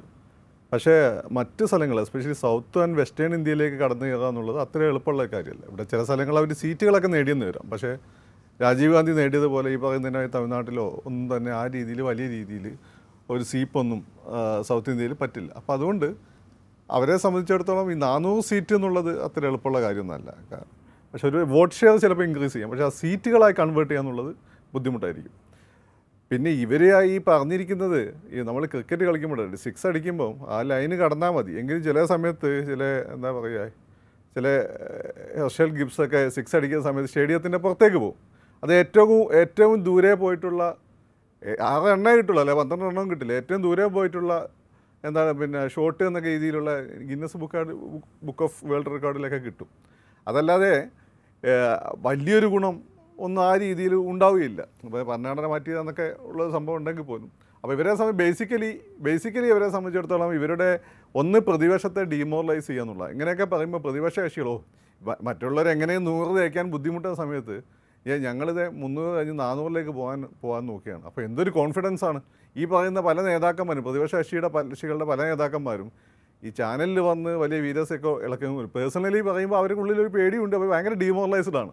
അയ്യോ എന്തൊരു പോക്കാണ്. ഇതെങ്ങനെ പിടിച്ചു കിട്ടും? അൺസ്റ്റോപ്പബിൾ എന്നൊക്കെ പറഞ്ഞുകൊണ്ടാണ് ഇരിക്കുന്നത്. അപ്പോൾ അവരൊന്നും കൂടി ഡീമോറലൈസ് ചെയ്യുക. അതാണ് സൈക്കോളജിക്കലായിട്ടുള്ള ഒരു വിജയം. രണ്ട് നേരത്തെ ഗോപകുമാർ സാർ തന്നെ പറഞ്ഞ പോലെ അവരുടെ അനുയായികളെ ഒന്നും കൂടി ബൂസ്റ്റപ്പ് ചെയ്യുക. നമുക്കിതൊന്നും ഒരു പ്രശ്നമുള്ള കാര്യമല്ല. ഈ പറഞ്ഞ നമ്മൾ ആഞ്ഞു പിടിച്ചാൽ മൊത്തം നമ്മളെ കയ്യിലും കൊണ്ട് പോരും. അങ്ങനെ വന്ന് നമുക്ക് കൂളായിട്ട് ഭരണഘടന മാറ്റാം. കൂളായിട്ട് ഭരണഘടന മാറ്റി കഴിഞ്ഞാൽ നമ്മൾ ഈ പറഞ്ഞ പോലെ എല്ലാ കാര്യങ്ങളും നമുക്ക് നടപ്പിലാക്കാൻ പറ്റും. എന്ന് ഇപ്പോൾ രണ്ടായിരത്തി ആയിരത്തി തൊള്ളായിരത്തി ഇരുപത്തഞ്ചിലാണ് സംഘം ആർ എസ് എസ് ഉണ്ടാകുന്നത് അപ്പം രണ്ടായിരത്തി ഇരുപത്തഞ്ച് നമ്മൾ നൂറ് വർഷം നമുക്ക് ഹിന്ദു രാഷ്ട്രമായി കൺവേർട്ട് ചെയ്യാം. അതിനൊരു ബുദ്ധിമുട്ടുണ്ടാവില്ല എന്നൊക്കെ പറഞ്ഞാൽ അവരെ പരമാവധി അവരിൽ നിന്നും എന്തെങ്കിലും തരത്തിൽ ആളുകൾക്ക് എപ്പോഴും ഉണ്ടാകുന്ന ടോയിൻ ബി ഒക്കെ പറഞ്ഞൊരു കാര്യം നമ്മൾ നിരന്തരം വിജയിച്ചുകൊണ്ടിരിക്കുമ്പോൾ നമുക്കൊരു അലസതയൊക്കെ വിടും വന്നു വിടും. ഈ അലസതയൊക്കെ വന്നു വിടുമ്പോഴാണ് ഈ പറഞ്ഞ ഗ്രാമീണ മേഖലയിലുള്ള ചെങ്കിസ് ഖാനൊക്കെ പോലുള്ള ഫോഴ്സസ് വന്ന് നമ്മളെ കീഴടക്കാമെന്ന് അർണോ ടോയിൻ ബി പറഞ്ഞിട്ടുണ്ട്. അപ്പോൾ അതുപോലെ ആളുകൾക്കൊരു എന്താ പറയുക ഒരു തരത്തിലുള്ള നമ്മളങ്ങ് ജയിച്ചു പോകും എന്ന് പറഞ്ഞാൽ മുയലിന്റെ ഭാവം. ആ ഭാവം വരാതിരിക്കാൻ വേണ്ടി അവരെ ഒന്ന് സജ്ജരാക്കുക. ഈ ഹനുമാനോട് പിന്നെ ഹനുമാന്റെ ശക്തി എന്താ പറയുക ഇടക്കിടക്ക് മറന്നു പോകുന്ന സമയത്ത് ഓർമ്മപ്പെടുത്തുവാൻ. അതിന് വേണ്ടിയിട്ടുള്ള ഒരു എന്താ മോട്ടിവേഷൻ സ്പീക്കറിലെ പരിപാടിയാണ് ഈ പറയുന്ന ബി ജെ പി ഇപ്പം ചെയ്യുന്നതെന്നാണ് എനിക്ക് തോന്നുന്നത്. രജുമാൻ കുട്ടപ്പൻ ഞാൻ നേരത്തെ പറഞ്ഞ ഈ തൊണ്ണൂറ് ശതമാനത്തിന്റെ സ്ട്രൈക്ക് റേറ്റ് പ്രധാനപ്പെട്ട സ്റ്റേറ്റുകളിൽ. അത് മാത്രമല്ല ഈ മുന്നൂറ്റി മൂന്ന് സീറ്റ് ബി ജെ പി നേടിയല്ലോ. അതിൽ ഇരുന്നൂറ്റി ഇരുപത്തിനാല് സീറ്റിലും അവർ അൻപത് ശതമാനത്തിലേറെ വോട്ട് നേടിയിരുന്നു. ആ വോട്ട് ബേസിലൊക്കെ കാര്യമായ വിള്ളൽ വരുത്താൻ പ്രതിപക്ഷ സഖ്യത്തിന് കഴിയുമോ? നിലവിലെ സാഹചര്യത്തിൽ ഇന്ത്യയിൽ ഇന്ത്യൻ ഒപ്പോസിഷന് ഒരു ലെവൽ പ്ലേയിങ് ഗ്രൗണ്ട് ഇല്ല എന്നുള്ളത് വസ്തുതയാണ് വിനു. അത് കോയിലേഷൻ ഉണ്ടാക്കുന്നതിൽ എൻ ഡി എ വളരെ സക്സസ്ഫുൾ ആണ്. കോയിലേഷൻ കൂടത്തി നിർത്താൻ ഇന്ത്യൻ ഒപ്പോസിഷൻ പരാജയപ്പെടുകയും ചെയ്യുന്നുണ്ട്. വിനു ഈ സ്ട്രൈക്ക് റേറ്റിന്റെ കാര്യം പറഞ്ഞല്ലോ. നാനൂറ് സീറ്റ് ഒരിക്കലും ഈ എൻ ഡി എക്ക് കിട്ടാൻ പോകുന്നില്ല. കാരണം കിട്ടണമെന്നുണ്ടെങ്കിൽ മഹാരാഷ്ട്ര ബീഹാർ കർണാടക. ഈ മൂന്ന് സംസ്ഥാനങ്ങളിലും രണ്ടായിരത്തി പത്തൊമ്പതിലുണ്ടായിരുന്ന തൊണ്ണൂറിന് മേളിലുള്ള സ്ട്രൈക്ക് റേറ്റ് അവർ നിലനിർത്തിയേ പറ്റത്തുള്ളൂ. മഹാരാഷ്ട്രയിൽ ഇപ്പോഴും സീറ്റിന്റെ പേരിൽ തർക്കങ്ങളുണ്ട്. ബീഹാറിൽ നിതീഷ് കുമാറിന്റെ കൂറുമാറ്റത്തിൽ ജനങ്ങൾക്ക് അഭിപ്രായ വ്യത്യാസമുണ്ട്. അതുപോലെ തേജസ്വിനി യാദവ് അവിടെ ഒരു ഫാക്ടർ തന്നെയാണ്. ഇനി കർണാടകയിൽ വരുവാണെങ്കിൽ രണ്ടായിരത്തി പത്തൊമ്പതിൽ കർണാടക അവിടെ നിയമസഭയിൽ ഇല്ലായിരുന്നു. ഇപ്പോൾ രണ്ടായിരത്തി പത്തൊമ്പതിൽ കർണാടകയിൽ കോൺഗ്രസ് നിയമസഭയിലുണ്ട്. സോ ആ കർണാടകയിൽ രണ്ടായിരത്തി പത്തൊമ്പതിൽ ഉണ്ടായിരുന്ന ഒരു അപ്പർ ഹാൻഡ് ബി ജെ പിക്ക് ഉണ്ടാകുമെന്ന് തോന്നുന്നില്ല. ഈ മൂന്ന് സംസ്ഥാനങ്ങളിൽ തൊണ്ണൂറ് ശതമാനം സ്ട്രൈക്ക് റേറ്റ് ഇല്ല എന്നുണ്ടെങ്കിൽ അവർക്ക് ഒരിക്കലും ഇത് മുന്നോട്ട് കൊണ്ടുപോകാൻ പറ്റത്തില്ല. ഈ നാനൂറ് എന്ന് പറയുന്ന ഒരു മാജിക് ഫിഗറിലേക്ക് എത്തിക്കാൻ സാധിക്കില്ല. അതുപോലെ തന്നെയാണ് യു പിയും വെസ്റ്റ് ബംഗാളും. യു പിയിലും വെസ്റ്റ് ബംഗാളും അറുപതിന് മേളിലായിരുന്നു സ്ട്രൈക്ക് റേറ്റ്. ഇനി ഈ പറയുന്ന നാനൂറിലേക്ക് എത്തിക്കണം എന്നുണ്ടെങ്കിൽ അവരുടെ സീറ്റിന്റെ എണ്ണം വർദ്ധിക്കണം അല്ലെങ്കിൽ അവരുടെ സ്ട്രൈക്ക് റേറ്റ് തൊണ്ണൂറിനടുത്ത് എത്തണം. അതായത് മുപ്പത് ശതമാനത്തിന് മേളിൽ വർധനവ് ഉണ്ടാകണം. എങ്കിൽ മാത്രമേ യു പിയിലും വെസ്റ്റ് ബംഗാളിലും സീറ്റുകൾ വർദ്ധിച്ചെങ്കിൽ മാത്രമേ അവർക്ക് ഈ പറയുന്ന നാനൂറ് എന്നുള്ള മാജിക് നമ്പർ എത്താൻ പറ്റുകയുള്ളൂ. അല്ല യു പിയിൽ നേരത്തെ അവർ അതായത് രണ്ടായിരത്തി പതിനാലിൽ നേടിയ സീറ്റ് രണ്ടായിരത്തി പത്തൊമ്പതിൽ കിട്ടിയിട്ടില്ല. അപ്പൊ സാധ്യതയുണ്ട്. പതിനാറ് സീറ്റ് കുറവിലാണ് നിൽക്കുന്നതെങ്കിലും സാധ്യതയുണ്ട്. പക്ഷെ അവരുടെ സ്ട്രൈക്ക് റേറ്റ് അവർ വർദ്ധിപ്പിക്കേണ്ടിയിരിക്കുന്നു. നേരത്തെ പലരും സൂചിപ്പിച്ച പോലെ രാമക്ഷേത്രം അവിടെ നിൽക്കുന്നു. സി എ ആ ഫാക്ടേഴ്സ് എല്ലാം ഉണ്ട്. ഫാക്ടേഴ്സ് എല്ലാം ഉണ്ട്. എങ്കിൽ ഹിന്ദുത്വ കോൺസ്റ്റിറ്റുവൻസിയെ എന്താണ് അഭിസംബോധന ചെയ്യുന്ന എല്ലാം അതെ അതെ. ആ ഫാക്ടേഴ്സ് ഉണ്ട്. ഇനി അടുത്ത ഒരു ബ്രാക്കറ്റ് ഓഫ് സ്റ്റേറ്റ്സ് നോക്കുവാണെന്നുണ്ടെങ്കിൽ അത് തമിഴ്നാടും പഞ്ചാബും അല്ലെങ്കിൽ സൗത്ത് ഇന്ത്യയും തമിഴ്നാടും പഞ്ചാബും എന്നൊക്കെ പറയാൻ പറ്റും. ഈ തമിഴ്നാട്ടിൽ ഡി എം കെ ഒരു സ്റ്റിഫ് ഫൈറ്റ് തന്നെ കാഴ്ചവെക്കും. പഞ്ചാബിൽ കെജ്രിവാളിനെ പിടിച്ച് അകത്ത് വെച്ചതോടുകൂടി കെജ്രിവാളിന് അവിടെ ഒരു ക്രൗഡ് പുളറായിട്ട് പോകാൻ പറ്റത്തില്ല എങ്കിൽ പോലും അത് ബി ജെ പിയെ ദോഷം ചെയ്യും എന്നുള്ളതാണ് പൊളിറ്റിക്കൽ ഒബ്സർവേഴ്സ് ഒക്കെ പറയുന്നത്. അപ്പോൾ പഞ്ചാബിൽ അവർക്കൊരു ക്ഷീണം ഉണ്ടാകാൻ ചാൻസ് ഉണ്ട് ബി ജെ പിക്ക് അല്ലെങ്കിൽ എൻ ഡി എ മുന്നണിക്ക്. അപ്പോൾ ചുരുക്കി പറഞ്ഞാൽ വിനു സൗത്ത് ഇന്ത്യ പിടിക്കണം ഈസ്റ്റ് ഇന്ത്യ പിടിക്കണം. എങ്കിൽ മാത്രമേ ബി ജെ പിക്ക് ഫോർ ഹൺഡ്രഡ് സീറ്റ് എന്നുള്ള ആ മാജിക് നമ്പറിലേക്ക് എത്താൻ സാധിക്കും. നേരത്തെ ഡോക്ടർ ഗോപകുമാർ പറഞ്ഞത് വെസ്റ്റ് ബംഗാളിൽ കഴിഞ്ഞ തവണ പതിനെട്ട് സീറ്റാണ് ഇരുപത്താറെണ്ണം ടി എം സിക്ക് കിട്ടി. മൊത്തം നാൽപ്പത്തിരണ്ട് സീറ്റാണല്ലോ. അപ്പോൾ ഈ പതിനെട്ടിൽ കൂടുമെന്നാണ് പുതിയ സാഹചര്യത്തിൽ. പുതിയ സാഹചര്യത്തിൽ സി എ ഉണ്ട് സന്ദേശ് ഖാലി ഉണ്ട് അതെ അതെ ഗോകുമാർ സാറിന്റെ ഒരു ഒബ്സർവേഷനാണ്. പക്ഷേ എനിക്കത് തോന്നുന്നില്ല. കാരണം മമത ഒരു സ്റ്റിഫ് ഫൈറ്റ് വെക്കാൻ സാധിക്കുന്നത് മമതയ്ക്കാണ്. വിനു ഇതിന്റെ അകത്ത് കോൺഗ്രസിന് മുഖ്യ ഓപ്പോസിഷൻ പാർട്ടിയായിട്ട് കാണാതെ മറ്റ് ചെറിയ റീജിയണൽ പാർട്ടീസ് ഉണ്ടല്ലോ. അവർ കൊടുക്കുന്ന ഒരു സ്റ്റിഫ് ഫൈറ്റ് ആയിരിക്കും ബി ജെ പിക്ക് പ്രതിസന്ധി ഉണ്ടാക്കാൻ പോകുന്നത്. എവിടെയാണ് ഈ നാനൂറ് സീറ്റ് എത്തുന്നതിലേക്കുള്ള പ്രതിസന്ധി? അതല്ലാതെ കേവല ഭൂരിപക്ഷം കിട്ടാതിരിക്കുന്നു എന്നൊന്നും ഞാൻ പറയുന്നില്ല. പക്ഷേ കോൺഗ്രസ് അല്ല regional parties D M K അല്ലെങ്കിൽ കേരളത്തിലെ സി പി എം ഇടതുമുന്നണി അല്ലെങ്കിൽ വെസ്റ്റ് ബംഗാളിലെ ടി എം സി അല്ലെങ്കിൽ പഞ്ചാബിൽ ആം ആദ്മി പാർട്ടി ഇങ്ങനെയുള്ള റീജിയണൽ പാർട്ടീസ് ഉണ്ടാക്കുന്ന ഒരു സ്റ്റിഫ് ഫൈറ്റായിരിക്കും ബി ജെ പിയെ ഈ നാനൂറ് എന്നുള്ള സംഖ്യയിലേക്ക് എത്തിക്കാതിരിക്കാൻ ചിലപ്പോൾ സാധിക്കാൻ പോകുന്നത്.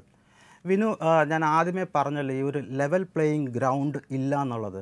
ഈ ലെവൽ പ്ലേയിങ് ഗ്രൗണ്ട് ഇല്ലാതാക്കിയത് തന്നെ അല്ലെങ്കിൽ ഇല്ലാതാക്കുന്നത് തന്നെ എൻ ഡി എക്ക് കൃത്യമായിട്ട് അറിയാം. ഈ രണ്ടാമത്തെ ഭരണത്തിന് ശേഷം ഇനി മൂന്നാമത് ഒറുക്കിൽ കൂടി ഭരണത്തിൽ വരണമെന്നുണ്ടെങ്കിൽ we have to eliminate the Indian opposition ഇതൊരു പ്ലേ ബുക്കാണ് വിനു. ഗ്ലോബലി അഡോപ്റ്റ് ചെയ്തിട്ടുള്ളൊരു പ്ലേ ബുക്കാണ് ഇരുപത്തഞ്ച് കൊല്ലം റഷ്യയിൽ പ്രധാനമന്ത്രിയായിട്ടും പ്രസിഡന്റായിട്ടും പുട്ടിൻ ഭരണം നടത്തിക്കൊണ്ടിരിക്കുന്ന ഈ പ്ലേ ബുക്ക് വെച്ചുകൊണ്ടാണ് ഷീ ചൈനയിലെ ഷീ മൂന്നാമത്തെ പ്രാവശ്യം അഞ്ച് കൊല്ലം കൂടി ടേം എക്സ്റ്റെൻഡ് ചെയ്തെടുത്തത് പാർട്ടി ഭരണഘടന ഭേദഗതി ചെയ്തുകൊണ്ടുള്ള ഈ പ്ലേ ബുക്ക് വെച്ചുകൊണ്ടാണ് തുർക്കിയിലെ എർദോഗൻ പത്ത് കൊല്ലത്തിന് മേളിലായി ഇനി ഒരു അഞ്ച് കൊല്ലം കൂടി പിടിച്ചിരിക്കുന്നതും ഇതേ പ്ലേ ബുക്ക് വെച്ചുകൊണ്ടാണ് ഈ പ്ലേ ബുക്കിന്റെ പ്രത്യേകത എന്താണെന്ന് ചോദിച്ചു കഴിഞ്ഞാൽ ജനാധിപത്യത്തിനെ വീക്കം ചെയ്യുക. പ്രതിപക്ഷ പാർട്ടികളെ അടിച്ചമർത്തുക. പ്രതിപക്ഷ പാർട്ടികളെ നേതാക്കന്മാരെ ജയിലിലിടുക. അതോടൊപ്പം തന്നെ കോടതി ബാങ്കുകൾ ഡിഫൻസ് ഫോഴ്സ് പോലീസ് എന്നിവരെയെല്ലാം പാർട്ടിക്ക് അല്ലെങ്കിൽ ഭരണകക്ഷികളുടെ ഒപ്പം തന്നെ നിർത്തുക. എന്നിട്ട് ഹൗണ്ടിങ് ഡോഗ്സ് ആയിട്ട് E D C B I N I A തുടങ്ങിയ അന്വേഷണ ഏജൻസികൾ ഏജൻസികളെ ഇറക്കി വിടുക. ഐ ടി തുടങ്ങിയ ഇൻകം ടാക്സ് ഇവരെയൊക്കെ ഇറക്കി വിടുക. ഇവരെയൊക്കെ ഇറക്കി വിട്ട് കഴിയുമ്പോൾ ഒപ്പോസിഷൻ എന്ത് പറ്റും? ഈ വരുന്ന കേസുകളുടെ പിന്നാലെ നടക്കുക എന്നുള്ളതല്ലാതെ ഈ കേസുകൾ ഫൈറ്റ് ചെയ്ത് ജനങ്ങളെ ബോധിപ്പിക്കണം ഞങ്ങൾ തെറ്റുകാരല്ല എന്ന് പറഞ്ഞ് ബോധിപ്പിക്കാൻ അതിനുവേണ്ടി മാത്രം സമയം ചെലവഴിക്കേണ്ടതായി വരും. അപ്പം എനിക്ക് തോന്നുന്നത് ബി ജെ പിക്ക് കേവല ഭൂരി അതിന് പണവും ഉണ്ടാവില്ല. കാരണം അക്കൗണ്ടുകളൊക്കെ ഫ്രീസ് അതാണ്. അതാണ് അതിനകത്തൊരു പ്രശ്നം. അതായത് ഒരു ഒരു ഫെയർ പ്ലേ ഗ്രൗണ്ടേ കേ ഇന്ത്യയിൽ ഒപ്പോസിഷന് കൊടുത്തിട്ടില്ല. പിന്നെ ഗ്ലോബൽ ഈ രണ്ടായിരത്തി ഇരുപത്തിനാലിൽ അറുപത് രാജ്യങ്ങളിൽ തെരഞ്ഞെടുപ്പ് നടക്കുന്നുണ്ട്. ഗ്ലോബൽ പൊളിറ്റിക്കൽ ഒബ്സർവേഴ്സ് പറയുന്നത് ഈ അറുപത് രാജ്യങ്ങളിലും പ്രതിപക്ഷത്തിനെ ഡെസിമിനേറ്റ് ചെയ്യുന്ന രീതിയിലുള്ള പ്രവർത്തനങ്ങളാണ് ഭരണ തുടർച്ചയ്ക്ക് അല്ലെങ്കിൽ ഇപ്പോൾ നിലവിലുള്ള രാഷ്ട്ര തലവന്മാർ ചെയ്തുകൊണ്ടിരിക്കുന്നത്. അതേ പ്ലേ ബുക്ക് അല്ലെങ്കിൽ അതേ ടൂൾ കിറ്റ് തന്നെയാണ് ഇന്ത്യയിൽ മോഡിയും എൻ ഡി എയും പിന്തുടർന്നുകൊണ്ടിരിക്കുന്നത്. വിനു സംഭവിക്കുന്നത് എന്താണെന്നറിയോ? ഇപ്പോൾ കോൺഗ്രസ് ഈ ആയിരത്തി എണ്ണൂറ്റി ഇരുപത്തി മൂന്ന് കോടി രൂപയുടെ നികുതി ഞങ്ങൾ അടച്ചിട്ടില്ല. അത് ഞങ്ങൾ കോടതിയിൽ കൊണ്ട് കേസ് ഫൈറ്റ് ചെയ്തുകൊണ്ടിരിക്കുക. ഈ നികുതിയല്ല പിഴയാണ്. പിഴയാണ്. അപ്പോൾ ആ പിഴ നികുതി അടയ്ക്കാത്തതിന്റെ പിഴ. അപ്പോൾ ഞങ്ങൾ ആ കേസ് അടയ്ക്കാത്തതുകൊണ്ടല്ല വിവരങ്ങൾ കൊടുക്കാത്തതുകൊണ്ട്. വിവരങ്ങൾ കൊടുക്കാത്തതുകൊണ്ട്. അപ്പം ഞങ്ങൾ ആ കേസ് ഫൈറ്റ് ചെയ്തുകൊണ്ട് ഇനിയിപ്പോൾ സുപ്രീം കോടതിയിൽ അപ്പലറ്റ് കോടതിയിലൊക്കെ പോയിക്കൊണ്ടിരിക്കും. സംഭവിക്കുന്നത് എന്താണെന്ന് ചോദിച്ചു കഴിഞ്ഞാൽ ഇന്ത്യയിൽ നിലവിൽ ഒരു തെരഞ്ഞെടുപ്പിൽ ചർച്ച ചെയ്യേണ്ട കോർ ഇഷ്യൂസ് ചർച്ച ചെയ്യാതെ ചെയ്യാതെപ്പെടാതെ പോകും അവിടെയാണ് ഇതിനകത്ത് അപകടം. വിനു ഈ വെൽഫെയറിസം ഭയങ്കരമാണ് മോഡിയുടെ എന്ന് പറയുന്നത്. ഫേസ്ബുക്കിലും ട്വിറ്ററിലും വരുന്ന കണക്കുകളിൽ മാത്രമേ ഉള്ളൂ. ഗ്രൗണ്ട് ലെവലിൽ ഒരു വെൽഫെയറിസവും നമുക്ക് എവിഡന്റ് അല്ല. വിനു ഇതിനകത്ത് വളരെ കൃത്യമായിട്ട് ഞാൻ പറയാം. ഇപ്പോൾ I L O India founding മെമ്പറാണ് ഐ എൽ ഒയുടെ ഇന്ത്യ അടുത്തിടെ കഴിഞ്ഞ ആഴ്ച ഇറക്കിയ അൺഎംപ്ലോയ്മെന്റിന്റെ റിപ്പോർട്ടിന്റെ അകത്ത് വിദ്യാസമ്പന്നരായ യുവാക്കളുടെ ഇടയിൽ എൺപത്തി മൂന്ന് ശതമാനം തൊഴിലില്ലാത്തവരാണ് എന്ന് ഐ എൽ ഒ കണ്ടെത്തിയിട്ടുണ്ട്. ഇത് വളരെ അപകടകരമായ ഒരു കണ്ടെത്തലാണ്. ഈ തൊഴിലില്ലാത്തത് കൊണ്ടാണ് യുദ്ധഭൂമിയെങ്കിൽ യുദ്ധഭൂമി റഷ്യയിലേക്കും ഇസ്രയേലിലേക്കും മറ്റും ഈ ഇന്ത്യയിലുള്ള യുവാക്കൾ പോകുന്നത്. ഇന്നത്തെ വാർത്ത അയ്യായിരത്തോളം ഇന്ത്യക്കാർ കംബോഡിയയിൽ പോൺ വെബ്സൈറ്റിലും ക്രിപ്റ്റോ കറൻസിയിലും അടിമകളെപ്പോലെ പണിയെടുക്കാൻ വേണ്ടി പോയി പെട്ടുപോയിട്ടുണ്ടെന്നാണ് പറഞ്ഞത് അപ്പോൾ തൊഴിലില്ലായ്മയെക്കുറിച്ച് ഇന്ത്യയിലെ ഒരു പ്രതിപക്ഷ പാർട്ടികളും ചർച്ച ചെയ്യരുത്.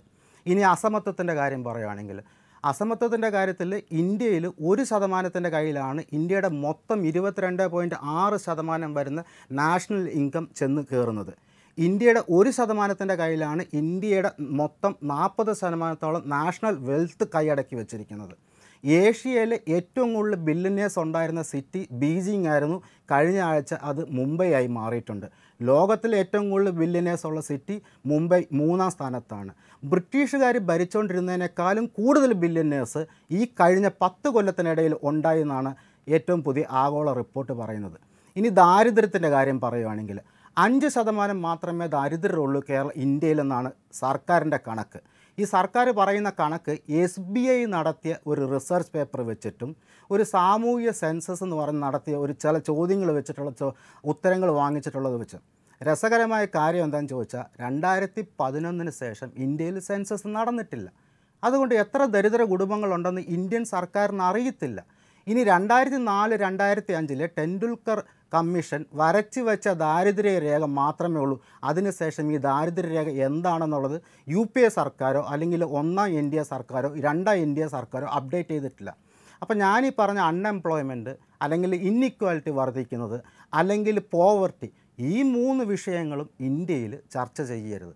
ഇത് ചർച്ച ചെയ്യാൻ ഒപ്പോസിഷന് സമയം കൊടുക്കരുത്. അവർക്ക് സ്പേസ് കൊടുക്കരുത്. ഇപ്പോൾ റഷ്യയിൽ പുട്ടിൻ എന്താ ചെയ്യുന്നത്? പ്രതിപക്ഷ പാർട്ടി നേതാക്കന്മാരെ പിടിച്ച് ജയിലിൽ വെക്കും. രണ്ട് ദിവസം കഴിയുമ്പോൾ അവ വിഷം കഴിച്ച് മരിച്ചെന്ന് പറയും. ഇവിടെ അത് സംഭവിക്കുന്നില്ല എങ്കിൽ പോലും ജയിലിൽ കിടന്ന ആൾക്കാർ മരിക്കുന്നുണ്ട്. അത് പല കേസുകളിലും കൊണ്ടുപോയി അകത്ത് വെച്ച് കഴിയുമ്പോൾ അത് സ്റ്റാൻസാമി ആണെങ്കിലും ഈ മിനിഞ്ഞാന്ന് മരിച്ച അൻസാരി ആണെങ്കിലും ഇവരെല്ലാം ഒപ്പോ ഓപ്പോസിറ്റ് സൈഡിൽ നിൽക്കുന്നവരാണ്. അവരെ പിടിച്ച് ജയിലിൽ വെക്കുക.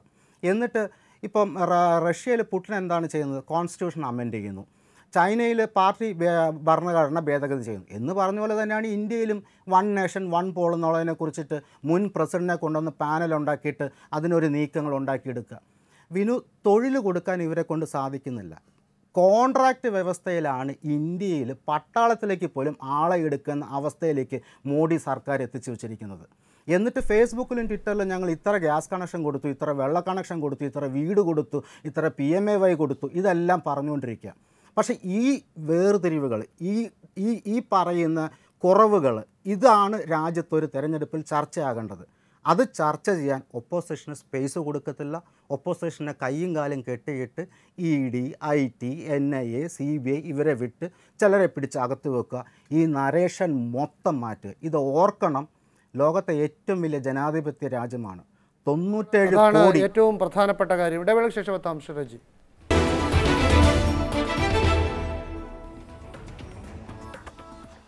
ഡോക്ടർ ഫസൽ ഗഫൂർ ഈ ബ്രാൻ മോഡിയിലാണോ ഇപ്പോഴും ബി ജെ പിയുടെ പ്രതീക്ഷ?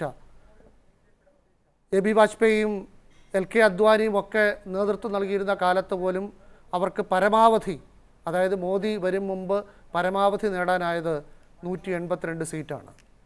അത് മുന്നൂറ്റി മൂന്നിലേക്ക് എത്തിച്ച നരേന്ദ്രമോദി എന്ന ബ്രാൻഡാണോ ബി ജെ പിക്കുള്ള ഏറ്റവും പ്രധാന ആയുധം?